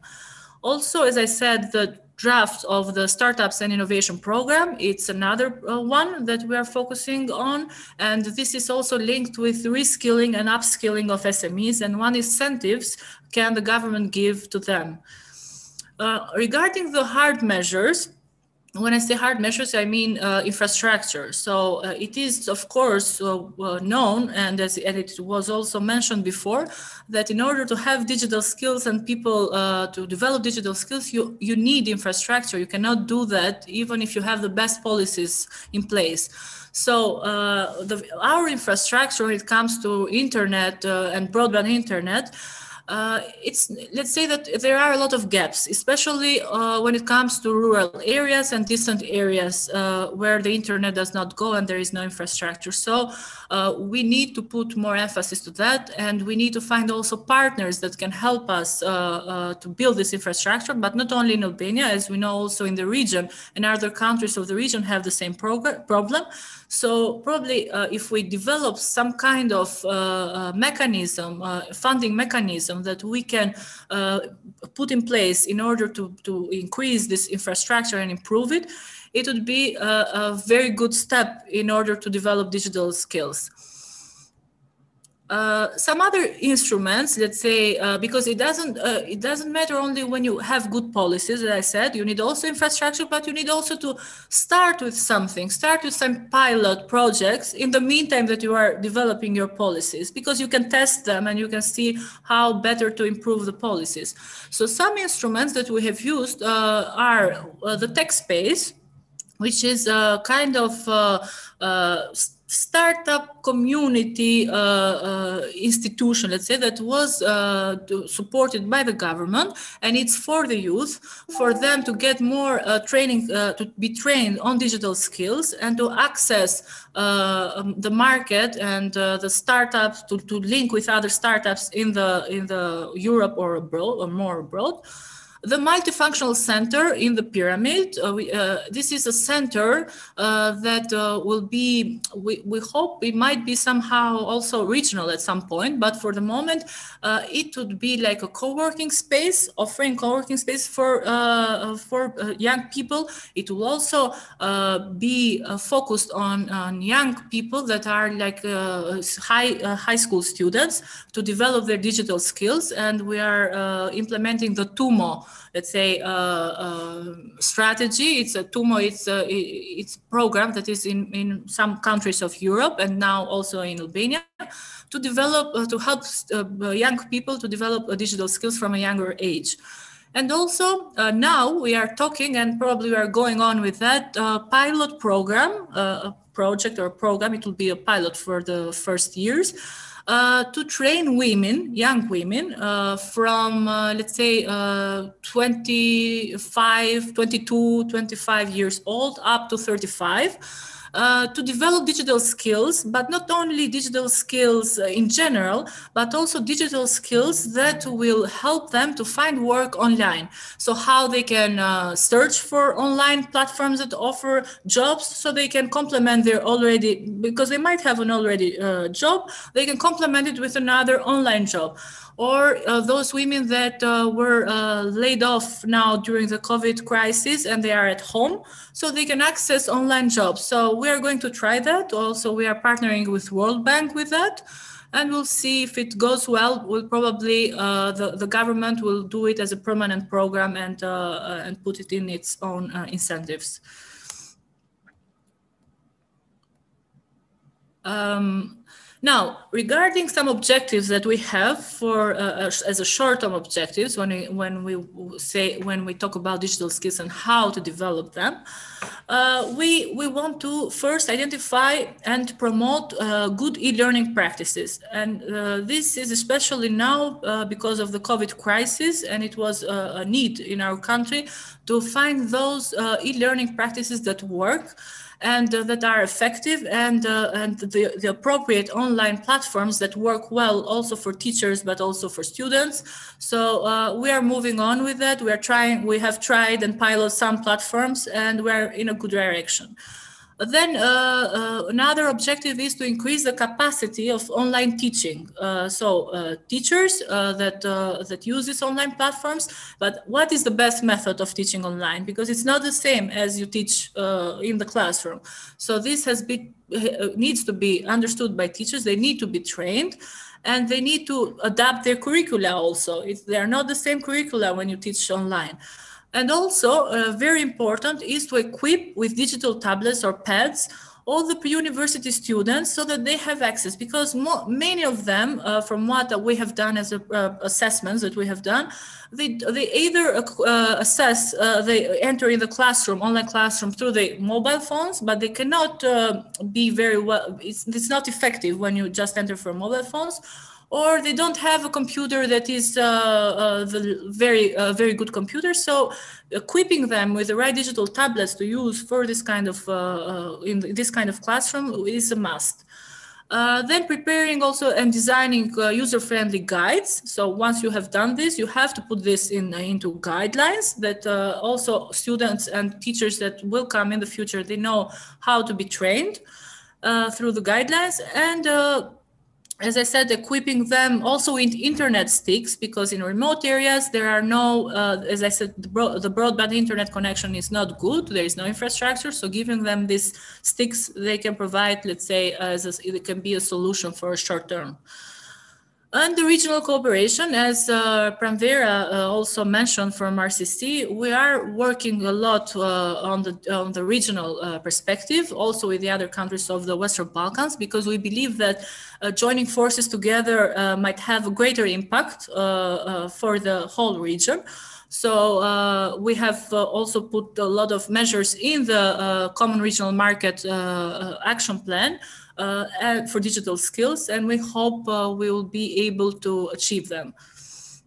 In the medium term, uh, we have we want, as I said, to invest more in digital infrastructure, and we would like to see more support also from other partners and also from the EU on this objective.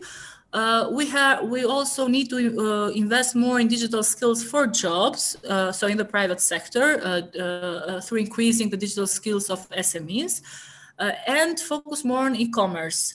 E-commerce uh, it's a it's a, an area where Albania is let's say it's not, has not a lot of strengths, but we are uh, working on that. We have uh, uh, have developed a working group in the past year uh, with all the main uh, stakeholders and uh, with the help also of World Bank. And we would like to uh, take, and we have uh, identified a set of measures that we want to achieve uh, in order to make e-commerce a, a, better platform for Albania and use more in e-trading. Uh, so uh, to finalize uh, uh, some recommendations and proposed actions that uh, we see for the future for Albania are first, we need to see the establishment of some legislation and legislative acts, regulations and standards for the digitalization in general, but also to foster e-commerce, which need to be put in the legislation. Uh, we need to increase the digital skills in SMEs through matching, as I said, startups, existing startups with existing SMEs because they can help each other. Because startups on one side, they don't uh, need a lot of, uh, let's say, uh, financing or they don't require a lot of financing to give them uh, some digital skills to the SMEs so they can match. Uh, the, to continue with the digitalization of the entire public services, uh, which we are at a very good uh, road and we should uh, keep that work up.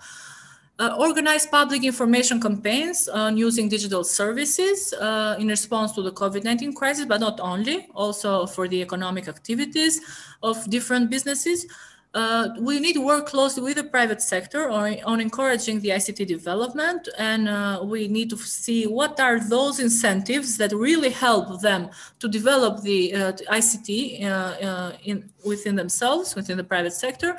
Uh, digitalization of pre-university education, as I said, providing those tablets also, and online education application of blockchain technology for the modernization of the higher education system is also a must and automatic recognition of academic qualifications. Uh, we have also put those in the measures uh, uh, that we have in the common regional market action plan. So we'll work together with the other countries to make this a reality. And uh, we will will start uh, now uh, skills need uh, and qualification analysis. Uh, this will be done in the context of the smart specialization strategy, the S3 strategy that we are currently developing to help, and this will help understand the shortages in skills in general, but here digital skills are comprised. So this aims to address them later with this strategy that we are developing. So I think uh, this is it from my part, but will be I'll be glad to receive any questions or comments. Thank, Thank you, you, very much. Thank you, Florenza. This was really great. Thank you for sharing uh, all these important activities that you are planning and the different actions. I'm sure many of us uh, learned a lot from this presentation. Uh, now I have the pleasure to invite Ms. Manana Ratiani, who will present Georgia's perspective. And I would like to also ask the technical moderator to pull up the presentation. Thank you. Uh, Manana, you have the floor. Okay, thank you very much. Uh, first of all, it's for me a great honor to be here on this session and to present my center. My center is Teachers Professional Development Center, which is under the umbrella of the Ministry of Education and Science of Georgia. And uh, what we are doing in case of ICT skills development, it becomes really very urgent topic. Next slide, please. Uh, and firstly, when we were, we were speaking about the situation uh, in a recent year, what happened within the world and within my country too, uh, they, we were not uh, so much prepared for this pandemic, uh, for these transitions that happened in educational system. Uh, and it become very urgent to have those ICT skills for all the educators in all the level of education, preschool education, uh, general school education, vocational and university educations. And for all of them, for students, for pupils, for lecturers, for administrators, all the skills uh, become very necessary ones. Uh, so what happened in the world? Uh, we had uh, more than 1,000 disease, infectious diseases that were in the world in a recent 33, 35 years. And those were Zika, MERS-CoV, and SARS and HIVs. Uh, but, uh, you know, the situation was that proactive public health measures happened during those these, different kind of diseases.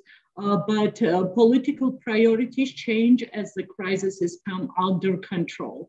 That means that we have not learned a lot from these diseases, from these epidemics and pandemics.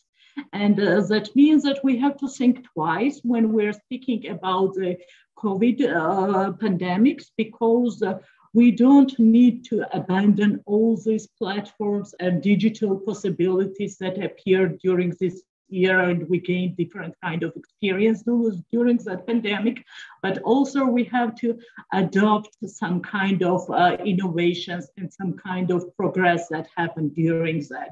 So it uh, was also a possibility for the education system to develop uh, you know in a very uh, in a way to progress in the system. So when we're speaking about uh, the pandemic, it shows us that uh, access to the quality info, uh, education is very important uh, in the whole world, but uh, this digital divide was set uh, previously, we were speaking about the socioeconomic uh, disparities in the world among the countries within the countries.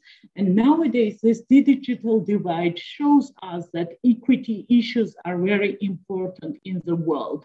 And we have to think, you know, about the ICT skills, ICT-based learning, which is not possible if we are not having enough infrastructure in place. And even if the uh, remote area areas or rural areas and students there and teachers there don't have access to the internet or different kind of devices that allows them and enables them to participate fully in the remote or distance learning process.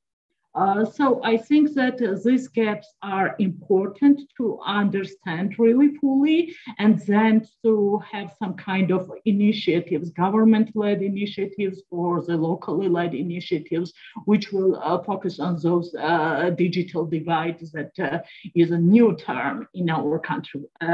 next slide, please. so we see here two graphs. The first one is the column graphs that is showing how there are the disparities in the world. The last column is about the world, and it shows that uh, a share of the students who, who have access to the internet is 40, uh, 53%, and others don't have access to the internet. That means that they can't participate in learning process uh, because of the lack of the access to the internet. And we, when we're looking uh, on the regional uh, uh aspect of this uh, access to the internet, we can see the Western European countries and uh, North America are having access and only 14% of the students are lacking access to the internet, while in, for example, sub-Saharan Africa, 80% uh, of students lack access to the internet. And uh, another slide is this pie chart are showing us uh, uh, the situation, what were the government-led uh, solutions for the uh, remote and distance learning. distance learning were solution for the 95 governments uh, because they introduced that uh, kind of uh, teaching and uh, 1 billion students were covered within the, the distance learning uh, process. And also there were some initiatives about TV and radio solutions uh, and learning uh, 29 governments has both of them, and we don't have information about the 38 governments, what ways they're doing. So maybe some uh, non-governmental initiatives happen within those countries, but there is no information. Next slide, please. Uh, so uh, at the beginning of the lockdown, when it happened uh, in Georgia, it was in March. So we have the holidays at school at that period, and we postponed our uh, holidays to have, uh, uh, you know, some time, some period for transforming to the distance solutions in the education system. And we have some survey at the beginning of the pandemics and uh, our teachers to understand what are the needs in ICT-based uh, competencies, what they require, what they feel, uh, what they don't know, and what they need to know, and uh, some type of uh, trainings, what they require from us. And uh, it was very interesting that it came out in other also international surveys. We found that information uh, that uh, teachers are saying that uh, not only they need to upgrade their competencies, ICT competencies, but also they understand that students lack uh, ICT skills and it's not enough to fully participate in remote or distance learning. And uh, that was one of the aspects. Uh, even our students are digital natives, you know, they know how to entertain themselves online, how to shop online, and uh, how to chat with each other and uh, be very active in different uh, social nets, you know. Uh, they lack some kind of guidance on the educational platforms, how to participate fully, how to create that interesting, you know, homeworks and etc. another part was the parents and caregivers caregivers who are at home and those parents who have those ICT skills who would facilitate and support their kids uh, to be, you know, very effective in uh, learning uh, within the distance learning. And this came out here also in Georgia. And also there were some other skills named for teachers. And firstly, it was the technical skills, how to share, how to start the call and uh, how to save the documents and be online and share the different kind of uh, activities and assignments uh, within these uh, platforms. Another was the methodology for online learning. And the third one was uh, the lack of uh, knowledge of the language is, was uh, one of the barriers for our teachers, you know. Uh, and we started to create different kind of support for the teachers based on this and others, uh, uh, you know, findings. The next slide, please. And uh, Ministry of Education and Science introduced, you know, we have also Uh, the cooperation with Microsoft. And uh, this Microsoft set up all the uh, classrooms, virtual classrooms for the teachers and all the teachers, say uh, 55,000 teachers and all the students, say 600,000 teachers were uh, set up, they received those profiles and uh, all the virtual classrooms were set for the uh, students uh, at the school and for the universities, they have a freedom to choose which platform to use for digital learning. Uh, so what came out that we created a lot of guidances, uh, we created a lot of webinars for the teachers, for the students, for the parents, because it was really very important for them uh, to update their, you know, knowledge and skills. And we don't have time for, you know, uh, cascading the trainings or doing such kind of activities. So being online, sharing online, being having, you know, uh, interactive webinars it was very important for that period. Uh, what was also important, we introduced also TV school for those who were in the remote areas and don't have access to the internet. And uh, broadcasting, uh, public broadcasting has, uh, you know, a specific uh, times uh, table for those. All subjects and all grades have possibilities to have those lessons on TV. Uh, also, it was very important to share uh, open resources in uh, Georgian language because uh, those teachers who know language, for them, it was easier to find the resources to adapt those resources and translate for the, their kids. And for others, a special platform was created where we uh, uh, posted some materials based on the national curriculum. Uh, also, uh, chatbot uh, was integrated in the uh, Microsoft platform, uh, Teams platform for our uh, teachers and for our students and parents. they could communicate with the bots and they could receive the frequently asked questions and you don't need any extra, you know, human resources to sit there and to answer on those questions. And also e-journal was created there and introduced to our teachers and students. And that means that the communicative part was very effective uh, through that uh, uh, electronic journal. And also as the teachers' uh, needs was uh, to understand better the Microsoft Teams, we created also that training and 16,000 teachers were trained in Microsoft Teams. next slide, please. And uh, also the webinars were shown by the, uh, you know, more than a million times because they were subject specific the, and teachers were sharing their best uh, experience. And uh, during that time, you know, we find out that a lot of teachers are willing to share their experience to others and that a lot of uh, groups were created created online and the teachers were supporting each other, you know, and that was really very good to uh, observe this type of cooperation uh, among those teachers. Also, we have an electronic uh, magazine for our teachers and uh, more than 400 uh, articles were created, uh, how to support them, where there were tips, subject-based, pedagogic-based for the teachers and million of views and downloads those articles. And then we published also lessons for distance learning. Uh, it's available on our uh, platform. Uh, and also I said that there was a need for the parents to understand how to support their kids and also specific guideline for the parents guide to the digital world was published and uploaded on our webpage. And I think it was really very important for them to understand how to secure their kids if the kids are small and they can't secure themselves in online, you know, uh, digi digital world.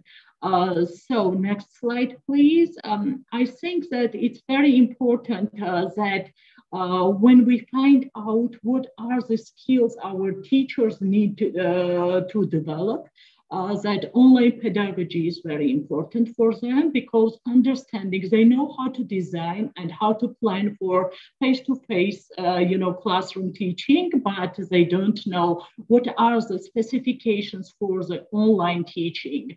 And because of that we uh, are now creating and working and we will launch this training for them. Uh, what does it mean to create and to design online teaching uh, you know materials and how to provide and how to proceed in the digital world, very interactive student-based uh, teaching and uh, how to be, uh, you know, how to assess and evaluate them in online mode and what are the specifications for them, what are the ethics for that, because we know that we all have that uh, digital footstep, you know, and our uh, students are creating that and they have to understand uh, uh, how to do that. Uh, also, I mentioned earlier that our teachers mentioned in the surveys that uh, they need to uh, overcome uh, language barriers because they don't know and they don't understand international languages, some of them. And uh, because of that, now we're working on the specific training, how to overcome these barriers, how to use that uh, online uh, translations uh, and how to translate those uh, web pages and also uh, how to uh, subtitle, for example, videos uh, which are online and how to adapt those and how to share with each other with those translations, you know, to overcome those barriers, how to understand which sources are reliable and they could trust those sources and how they could explain that to their students. So there are a lot of things that our teachers need to upgrade. Next slide, please. And also we think that uh, it's very important uh, not only for teachers to upgrade their skills and competencies in ICT, but also for the principals of the schools and uh, for the managers, it's very important because uh, they need to know how to create virtual platforms, not only for trainings and professional development of the teachers, but also for the cooperation among the teachers and how to launch, for example, uh, the workshops for the uh, different kind of subject groups and the teachers. It's very important to communicate in the digital, uh, uh do, uh, through the digital platforms because it becomes very convenient for our teachers during this pandemic year. And so we don't want to abandon this type of the uh, progress that happened within our schools and our educational institutions. And so we want to uh, support also principals and administrations of the schools uh, uh, to keep, uh, to remain that kind of virtual connections after the COVID. Uh, and also it's very important to raise awareness of the parents about the uh, digital, to secure their students and their kids, you know, environment, how, how to uh, protect it, how to communicate with electronic journal, and how to be an online communicator with the school community, you know. So we think about all the sides, about the parents, about the manager, uh, management of the institutions and schools, and about the teachers, how to progress uh, them in ICT skills. Next slide, please. Uh, it's also uh, very important and we decided in our center to create an educational e-house. That means that uh, for our teachers, it become very convenient uh, to participate in online trainings. Uh, this online training saves, uh, you know, extra uh, from extra finances uh, for accommodation or for uh, travel uh, to the location of the training and also us uh, from the uh, you know, it's not paper based. You don't need to print materials. You don't need to travel to somewhere. So it's environmentally a better way to provide these trainings. And also it's very important because it's saving the time and it's very convenient for our teachers to access those online training. So during this year, we have uh, all the trainings online. Uh, to uh, and uh, now we decided to create that educational e-house. And if you will go to the next slide, please uh, we decided to have, I don't know is, is it visible or not uh, for you, uh, but we have here three parts. And what does that mean? First is for the principals and managerial uh, part of the school.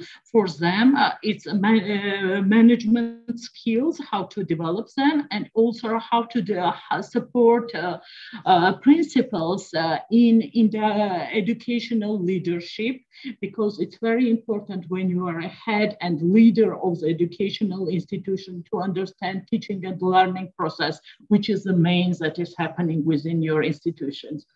Uh, and also we have the part for the teachers and we have the part for the parents, uh, how to upgrade their skills. We have different, we will have different kind of services for the teachers, uh, principals, and parents. And that will be uh, training, online training, uh, and we will have some webinars also forums for the discussions uh, uh, about the, some topics that will be guided by the expert of the field.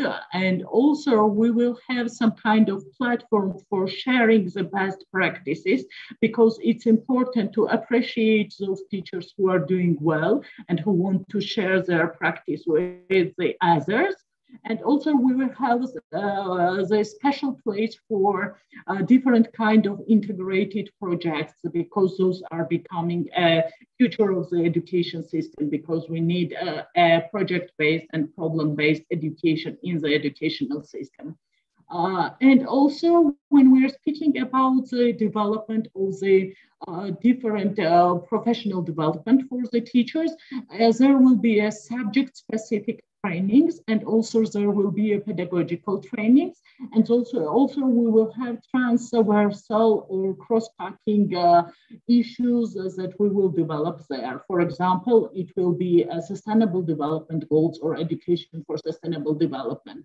How to create those skills how to support teachers uh, for example to fulfill and to embed those skills in their education fields and also there will be about the citizenship, digital citizenship, uh, global citizenship, which is becoming very meaningful in the modern globalized society.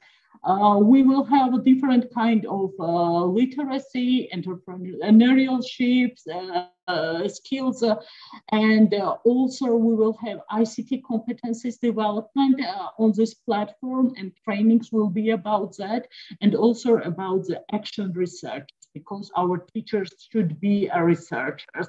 Uh, they don't have to wait for others to help and support them uh, in the center or at the ministry, uh, but they have to make some researches and have decisions that will be evidence-based decisions. Uh, so we think that it's very important nowadays to step forward and to develop such kind of uh, educational e-house for our educators. Uh, that will be very helpful for them and they could find uh, professional development trainings uh, uh, based on their real needs, what they have. Uh, so uh, that's uh, the final point from our center and from me and thank you for your attention. Thank you very much. This was very, very interesting. And I really like the school for parents. So I'm sure the kids will be very happy about this.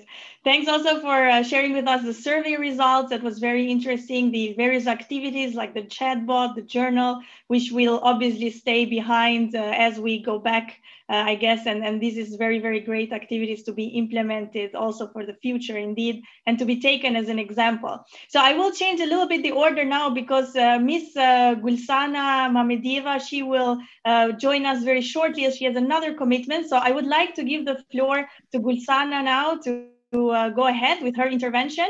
Uh, Gulsana, you have the floor and you can share the screen as well as you wanted to share your website, I believe. Um, yeah, thank you. Uh, I'm um, just a moment. Uh, I will yeah share screen and um, moment. Yeah, this is might be perfect. We can see. Yeah, uh, I will start probably with um. will come up uh, to the screen uh, a little bit. Um, we have a Minister of Digital Transformation and we have uh, four main goals, uh, which is 100% of online services, public services are available online. Uh, 6 million people uh, of Ukrainians are teach basic digital skills. Um, IT sector consists 10% of Ukrainian uh, G, uh, 10% uh, yes the ukrainian gdp consists uh, of 10% uh, it sector come from it sector and 95% of ukrainian controlled territory uh, covered with broadband uh, coverage. So this all aims are strategic they all are connected and depends on each other. As i would not repeat yeah like i see the how professional approaches are in other countries and so we do and we understand how the digital skills and the infrastructure are connected so it, is uh, should be solved together. Um, for the de developing digital skills we have two components online and offline. Uh, offline is a bit uh, slower now due to the pandemic, uh, but online it, it is a boosting uh, actually online uh, platform that we developed and launched, and uh, now you see it. I will show you here um, yeah, uh, this is a national platform uh, on digital skills where uh, consist of the series or courses. Uh, they are built in the format of edutainment and have a TV stars uh, short series which consist have stop lessons. Um, they're really popular in Ukraine because we do it on really actual uh, topics. For example, how to make your own blog. Uh, we have uh, social entrepreneurship courses. We have let's how to create business in creative industry. Uh, how to the financial uh, competences for uh, entrepreneurs, the basics of the cyber like cyber security, uh, and uh, yeah, the artificial intelligence uh, for the students and uh, for the pupils in school uh, and so on. We have 30 more uh, courses and um, each of them are really have a high rank of their um, of their auditory and um, um, this is also, we have a CIFRA uh, Digigram, and this is a national uh, certificate which you can get uh, to uh, prove your level of digital skills. And um, this is like 10, 90, uh, it's take 30, 40 minutes to take, and it is acceptable in different uh, platforms across the country. For example, you can find uh, like work uh, and uh, yeah, uh, so on. And um, uh, they're very popular artist in Ukraine. the singer Alena Alena, she is promoting she this. actually, we find a really I think great solution to involve popular people uh, to promote actually digital skills, digital literacy, to make it really fashionable and modern in Ukraine. Uh, now we have also starting um, our digital uh, European actually digital skills week, uh, which is uh, built on the uh, we involving I, will stop share. we involving public, uh, private companies uh, to help us to promote. It's a really huge network of the uh, starting from the magazines who sell the phones or uh, actually the like many many companies do, joined this digital literacy week uh, which is held from 22 to 28 of march uh, and um, we, see, we see how effective it, is. Uh, so we have courses, we have special platforms, uh, and the offline component uh, is built of digital skills. It is built on the um, network of libraries uh, which have computers and uh, we made a course for trainers. So we teach trainers who teach these courses in the libraries.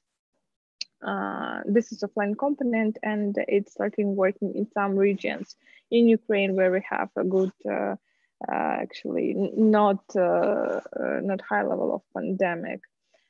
Um, we have also uh, the concept, uh, the national concept and strategy uh, approved by the government of Ukraine, uh, which is actually focused on digital competences and to uh, and aim to include digital competences in the uh, different sphere of role, for example, for teachers, for medical service, and so on. Um, this is, I also would like to share one more um, result of our work.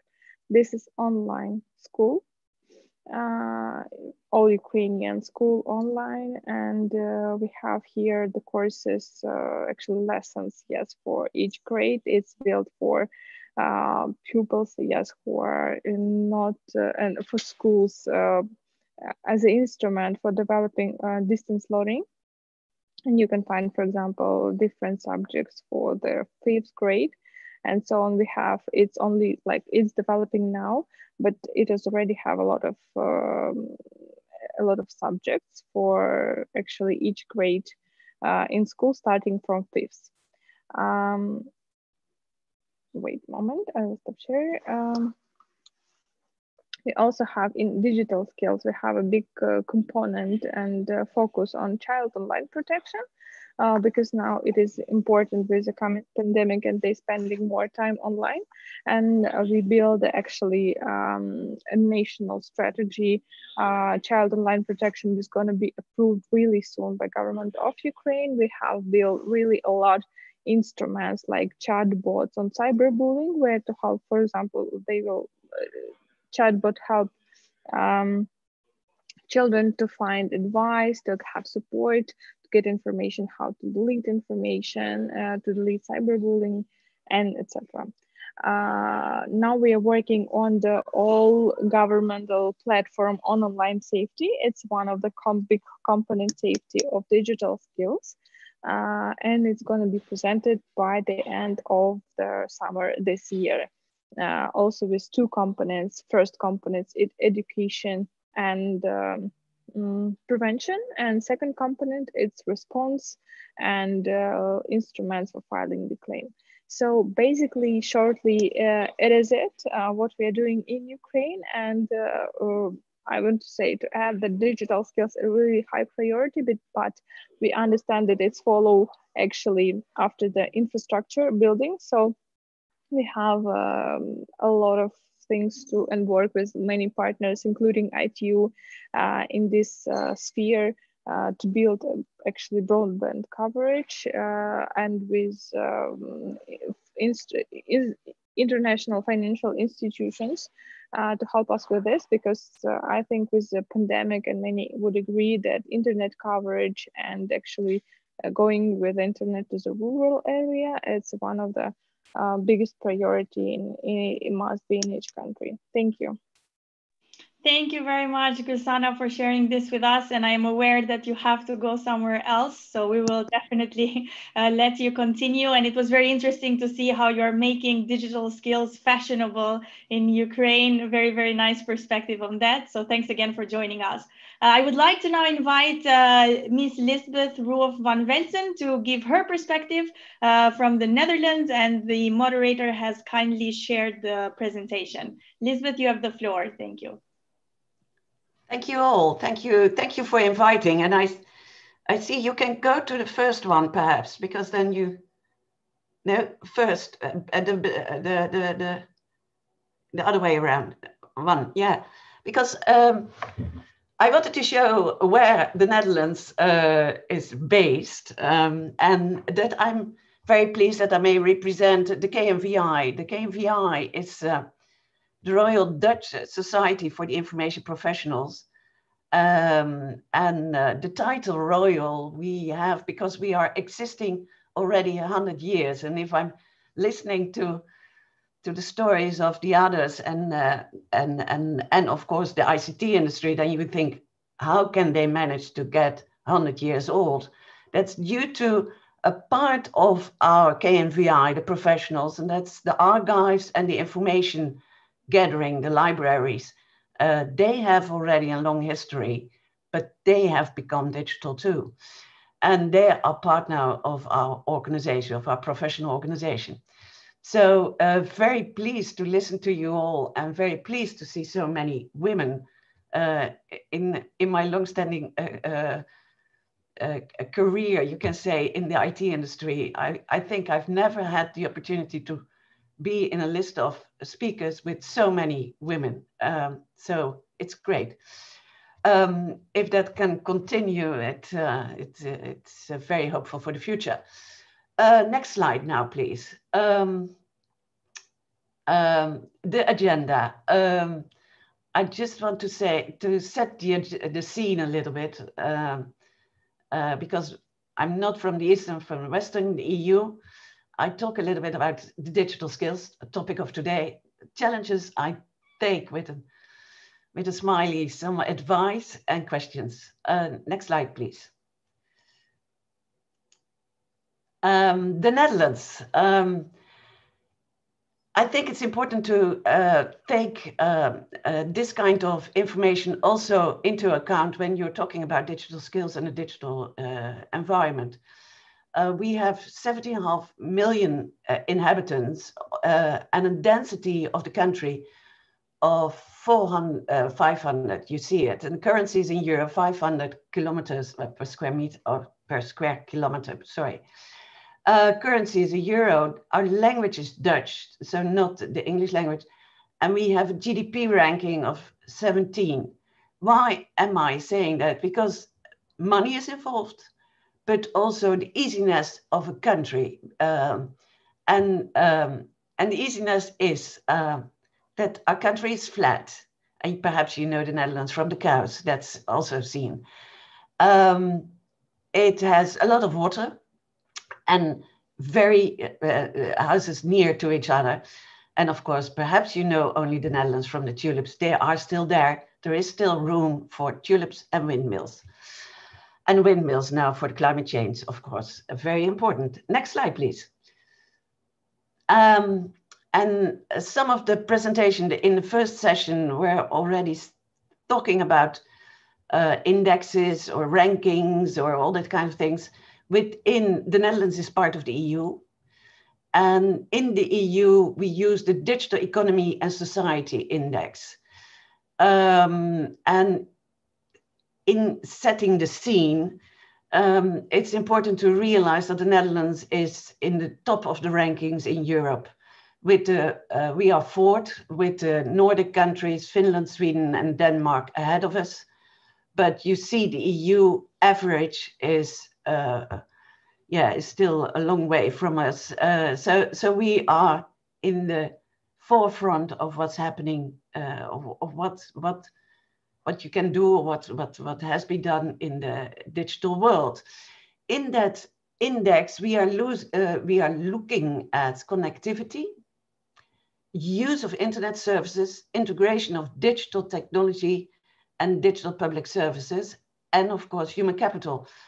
Um, and that's a little bit uh, different from the, uh, I think the index is currently used within ITU or what I hear uh, passing around. I think it's it, it would be good if we can connect those indexes. But that's an advice or an idea. Um, next slide, please.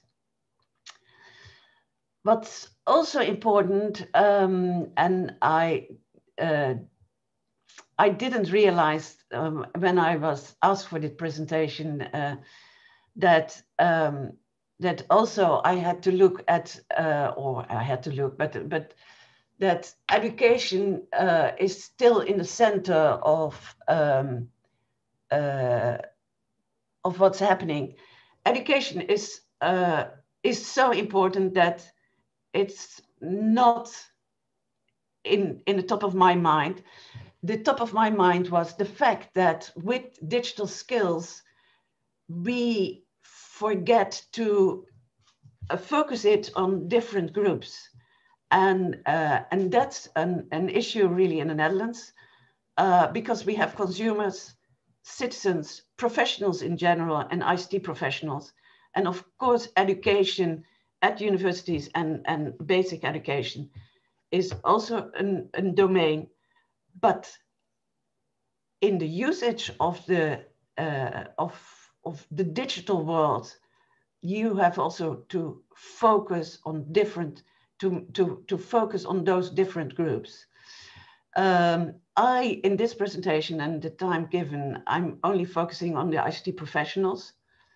Um, but the others are addressed, for example, in the parents' uh, education school, I think the Ukrainians, but also what I heard from, from the regional approaches. Uh, so you're looking at, uh, at the others, certainly don't forget them. Next slide, please. Um, the work uh, focused in the Netherlands around ICT professionals um, is dated, uh, started in 1982. And um, so that's almost uh, 40 years ago now. And it's the last and final edition of um, the idea of uh, the IC, looking at the professional, the ICT professional world uh, was made in 2017, but it was also the final, and, and it's written in Dutch, but it's called uh, Working in a Digital World. And why we are, uh, is this the final? That's due to the fact that uh, we are not looking anymore to only our country and, and in our Dutch language. We, we, we had to admit that we have to go more international in an EU perspective or a global perspective, because you can't take your own perspective and focus only on your own country, uh, because the digital world is going so fast um, that um, you uh, that you, you have to work together to follow and to to uh, to to use the the possibility and the opportunities given by the digital world. So this uh, last document uh, took already eight years. So we started to look at what's happening in Europe, and that's uh, covered by uh, the TC428. Next slide, please. And that's a very busy slide. Um, and you see, that's also one of the reasons why we are now doing it in an EU perspective and not on our own. Um, um, and this initiative um, is, uh, is also supported already for a long time by André Richier. I saw him in the presentation uh, for Digital Europe that, that uh, she used uh, the, the pyramid uh, used by André Richier. Uh, but anyhow, um, it's good to see his name back. Uh, this CEN/TC is focusing on four, four building blocks. And, um, and the idea is to make standards, standards we can use everywhere in Europe. Not only to use, but also that you can travel and, and use each other's knowledge and people uh, uh, around the European countries. Uh, it's not made only for Europe. And uh, I really want everybody who is looking at it to use it too, because it's we, it started in Europe, but we hope that we can share it with a lot of other people. Um, there is there is already one standard uh, established that is the European e-competence framework. Um, I'm not going in detail. It, it exists of 41 uh, competences and seven transversal aspects. Combined with that um, uh, framework, we have created a um, profile a family tree, an European ICT profile family tree. You see that on the uh, right side. And um, it has some basic profiles. And for the rest, it has templates, how you can develop your own template uh, and your own role. Um, that's already in the standard. Currently, the other three are under development and most important for me currently and already almost done is the body of knowledge.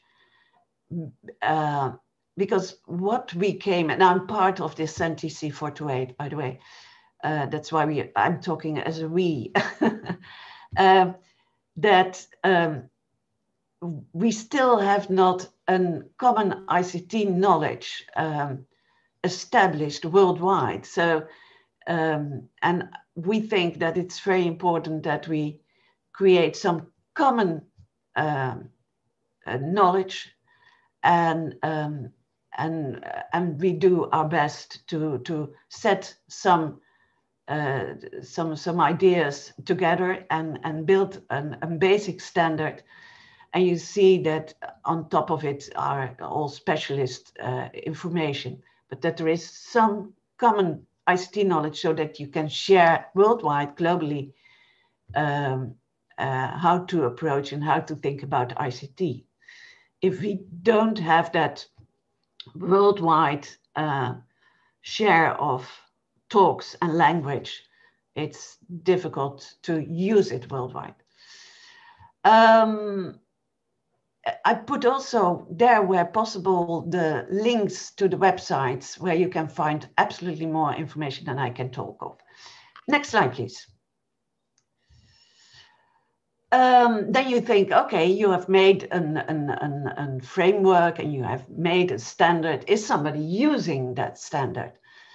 Uh, and yes, uh, it's it's used. It's in in Germany uh, and France. It's used by, uh, for example, Airbus, and there you see already Germany and France do have two different languages, but by using the framework, they can share uh, and they have also a different uh, uh, history in, uh, in the IT world, but using this combination of, um, uh, of the ECF, they, uh, they, they, they there is now, um, sorry, somebody is walking in, and um, um, we have the, the Dutch government who is putting their old um, framework into the ECF to, to, uh, to, to also proceed in a more quick and, and, and, and easier thinking, although it looks like not that easy, it is easier. Next slide, please. Um, you saw in the building blocks mentioned perhaps, uh, and I didn't uh, put the finger there on it, the code of ethics, because that, that is still in Europe in a starting phase, in development phase, but internationally, um, uh, and I may also be member of the this this group, uh, and play a role in it. Um, we've created a code of ethics. And also that I think is important that we share this worldwide and, and that we share that this already exists uh, because it gives seven common ethical principles, but also uh, responsibility specific to the ICT profession. And what I like very much seven responsibilities for those with a leadership position looking at uh, and, and responsible for ICT usage, so the digital world. Why is it important? Because we have to, to keep our trust in the digital world. And uh, if we do not use in some way or another a digital, um, uh, an ethical code it can be abused. how and and I think uh, the person from Intel was addressing already in AI. Uh, you see some abuse coming up, um, uh, and um, uh, I see in the chat also that uh, somebody is the DigiComp uh, calling, but indeed, DigiComp, of course, is already an, an, a framework used for uh, citizens and professionals. Um, this is the IFIP's Code of Ethics, um, also with an, a link, and you it can be used by everybody and can adapt to every culture or uh, legislation system. Next slide. The challenges. Uh, and uh, we had a head start, or we, we started earlier than uh, some countries. But with a head start, that makes you lazy. Uh, and uh, so if I listen to, for example, the Ukraine or to Albania, and I think, yeah, they can build that all together, that's great. Um, uh, be, because they have not that backlog uh, of from 82 uh, take, for example, the profiles, um, they can have a fresh start. Um, that's not something we can do in the Netherlands. We we have that backlog. We have that that uh, information sitting in our uh, on our back. Uh, so that's um, uh, so so yeah. Um, we say okay, we don't use and and we are not looking what has been invented somewhere else we, we continue with working and sometimes it's very difficult because we have those large old systems. Um, if uh, getting a head start, what we have forgotten uh, is the literacy. And I spoke in the beginning already of 70 million people, but we have more than 2 million inhabitants who are not able to read enough, uh, are literate enough to use the digital world. And that's a big part. And that's the part you want to reach and to reach out. And um, it's addressed in different uh, elements. And uh, I think I have to admit that in the Netherlands, we do not have yet the, the right instruments to address that properly.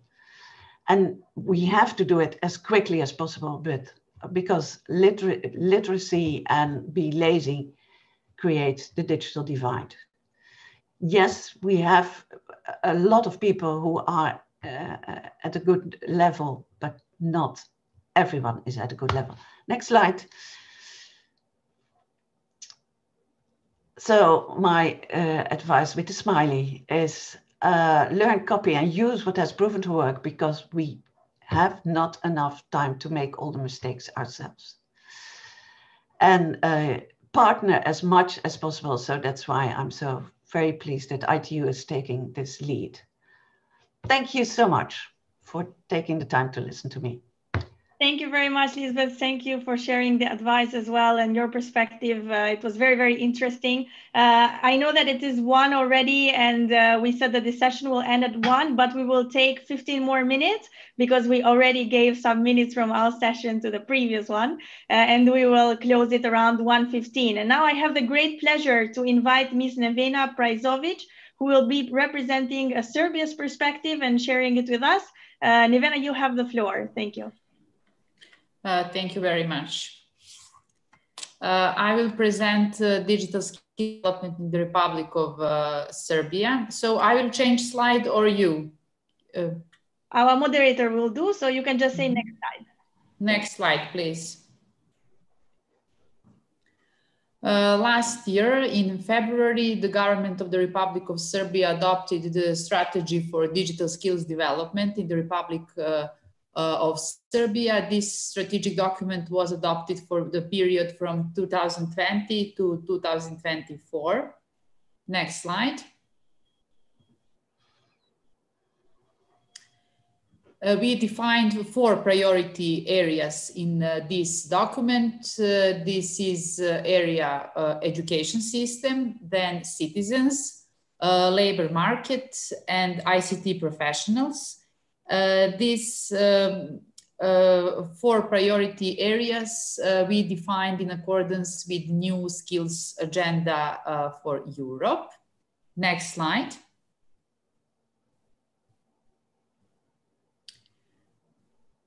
We have one overall objective of the strategy and four specific objectives, which are defined in accordance with the priorities.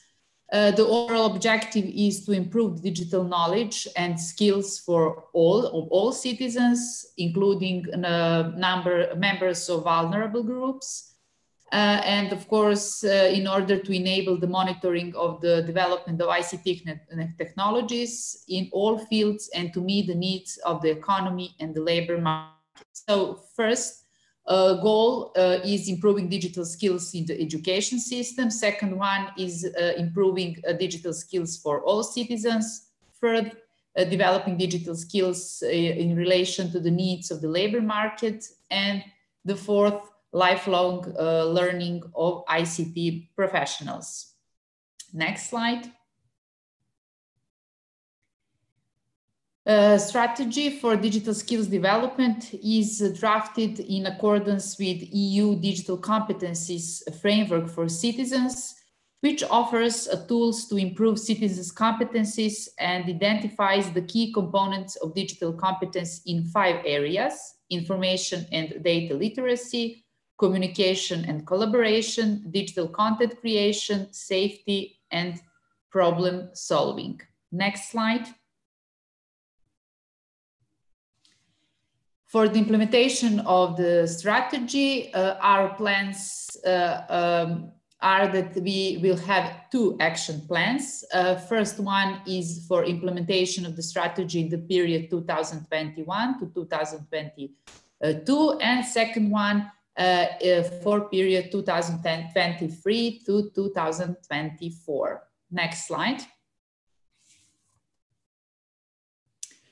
Uh, action plan, first action plan uh, proposal is drafted. The Ministry of Trade, Tourism and Telecommunications as a policymaker uh, has started a procedure for initi initiating public debate for this uh, document.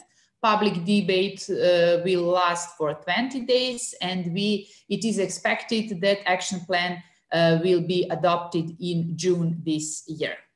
Next slide. Uh, when it comes to uh, uh, proposal of action plan for implementation of the strategy, I would like to say that uh, the role of partnerships uh, is very important in this procedure uh, because according to the action plan proposal, numerous measures and activities will be implemented in cooperation with our partners.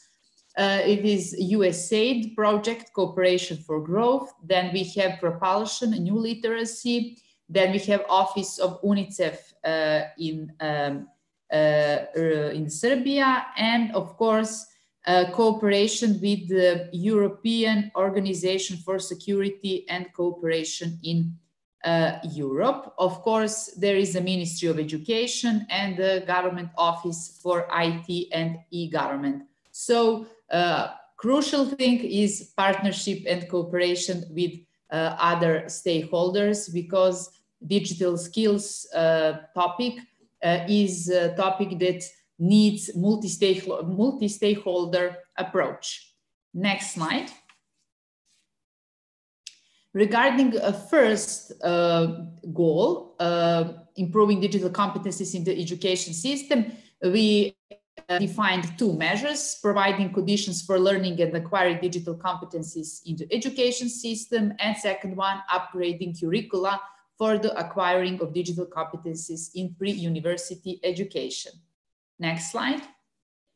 When we speak about digital skills for all citizens, we all know that citizens need digital skills for everyday life activity uh, so how to pay bill online, how to send an email, how buy something and pay for it online, etc. So within this objective, we have several uh, measures, raising awareness, uh, activities, uh, improving digital skills for uh, citizens at the local self-government level, and etc. Next slide. When we speak about labor market, uh, we all know that digitalization process has uh, already covered all areas of society and the economy. So digital skills are required for almost all jobs. So within this goal, we have uh, several measures meeting the needs of the labor market for digital skills at all levels and promoting opportunities in ICT sector, improving cooperation between relevant institutions, public sector, private, se private sector, non-governmental organizations, and developing digital skills of employees, including public administration employees with a focus on digital skills that are related to the uh, specific of the workplace. Next lifelong uh, learning on, of ICT professionals. It is the fourth ob objective in uh, strategy and action plan. Uh, numerous studies indicate that there will be tens of millions of jobs in the world over the coming years for those uh, with advanced digital skills in the areas of artificial intelligence development, cybersecurity, the Internet of Things, mobile applications, etc. So within this goal, we defined several measures, increasing research capacity in the ICT field, improving the digital skills of ICT professionals and promoting lifelong learning, monitoring the number of young people, especially women, educated and training in ICT professions, and monitoring the needs of the economy and the ICT sector. Next slide that is all. I hope that next time that when we will have a session like this, we will speak about implementation of the action plans and our results in this uh, field. Uh, thank you very much for your attention.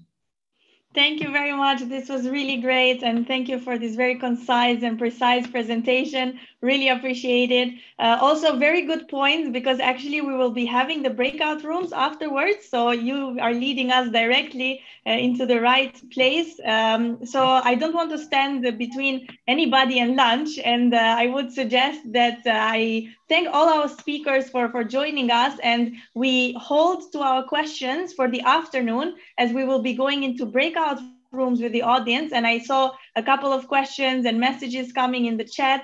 And I'm sure that uh, many uh, audience members would like to discuss with you more in details about the different activities that you have done, the different plans and, and programs that you plan to implement in the future. Uh, so if you all agree, I would uh, like to, we end the session now and we will uh, revert back at two o'clock where we will have a quick presentation uh, on the um, toolkit, on, on the uh, guidebook on the assessment of the digital uh, skills from one of our ITU colleagues. And then we are going to dive directly into the breakout sessions and we will have a little bit more explanation later on how those will work. And that's going to be really the part where together we, we discuss all of this and come out probably with some more recommendations and solutions.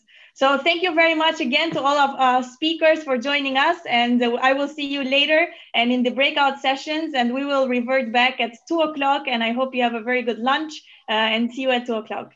Thank you.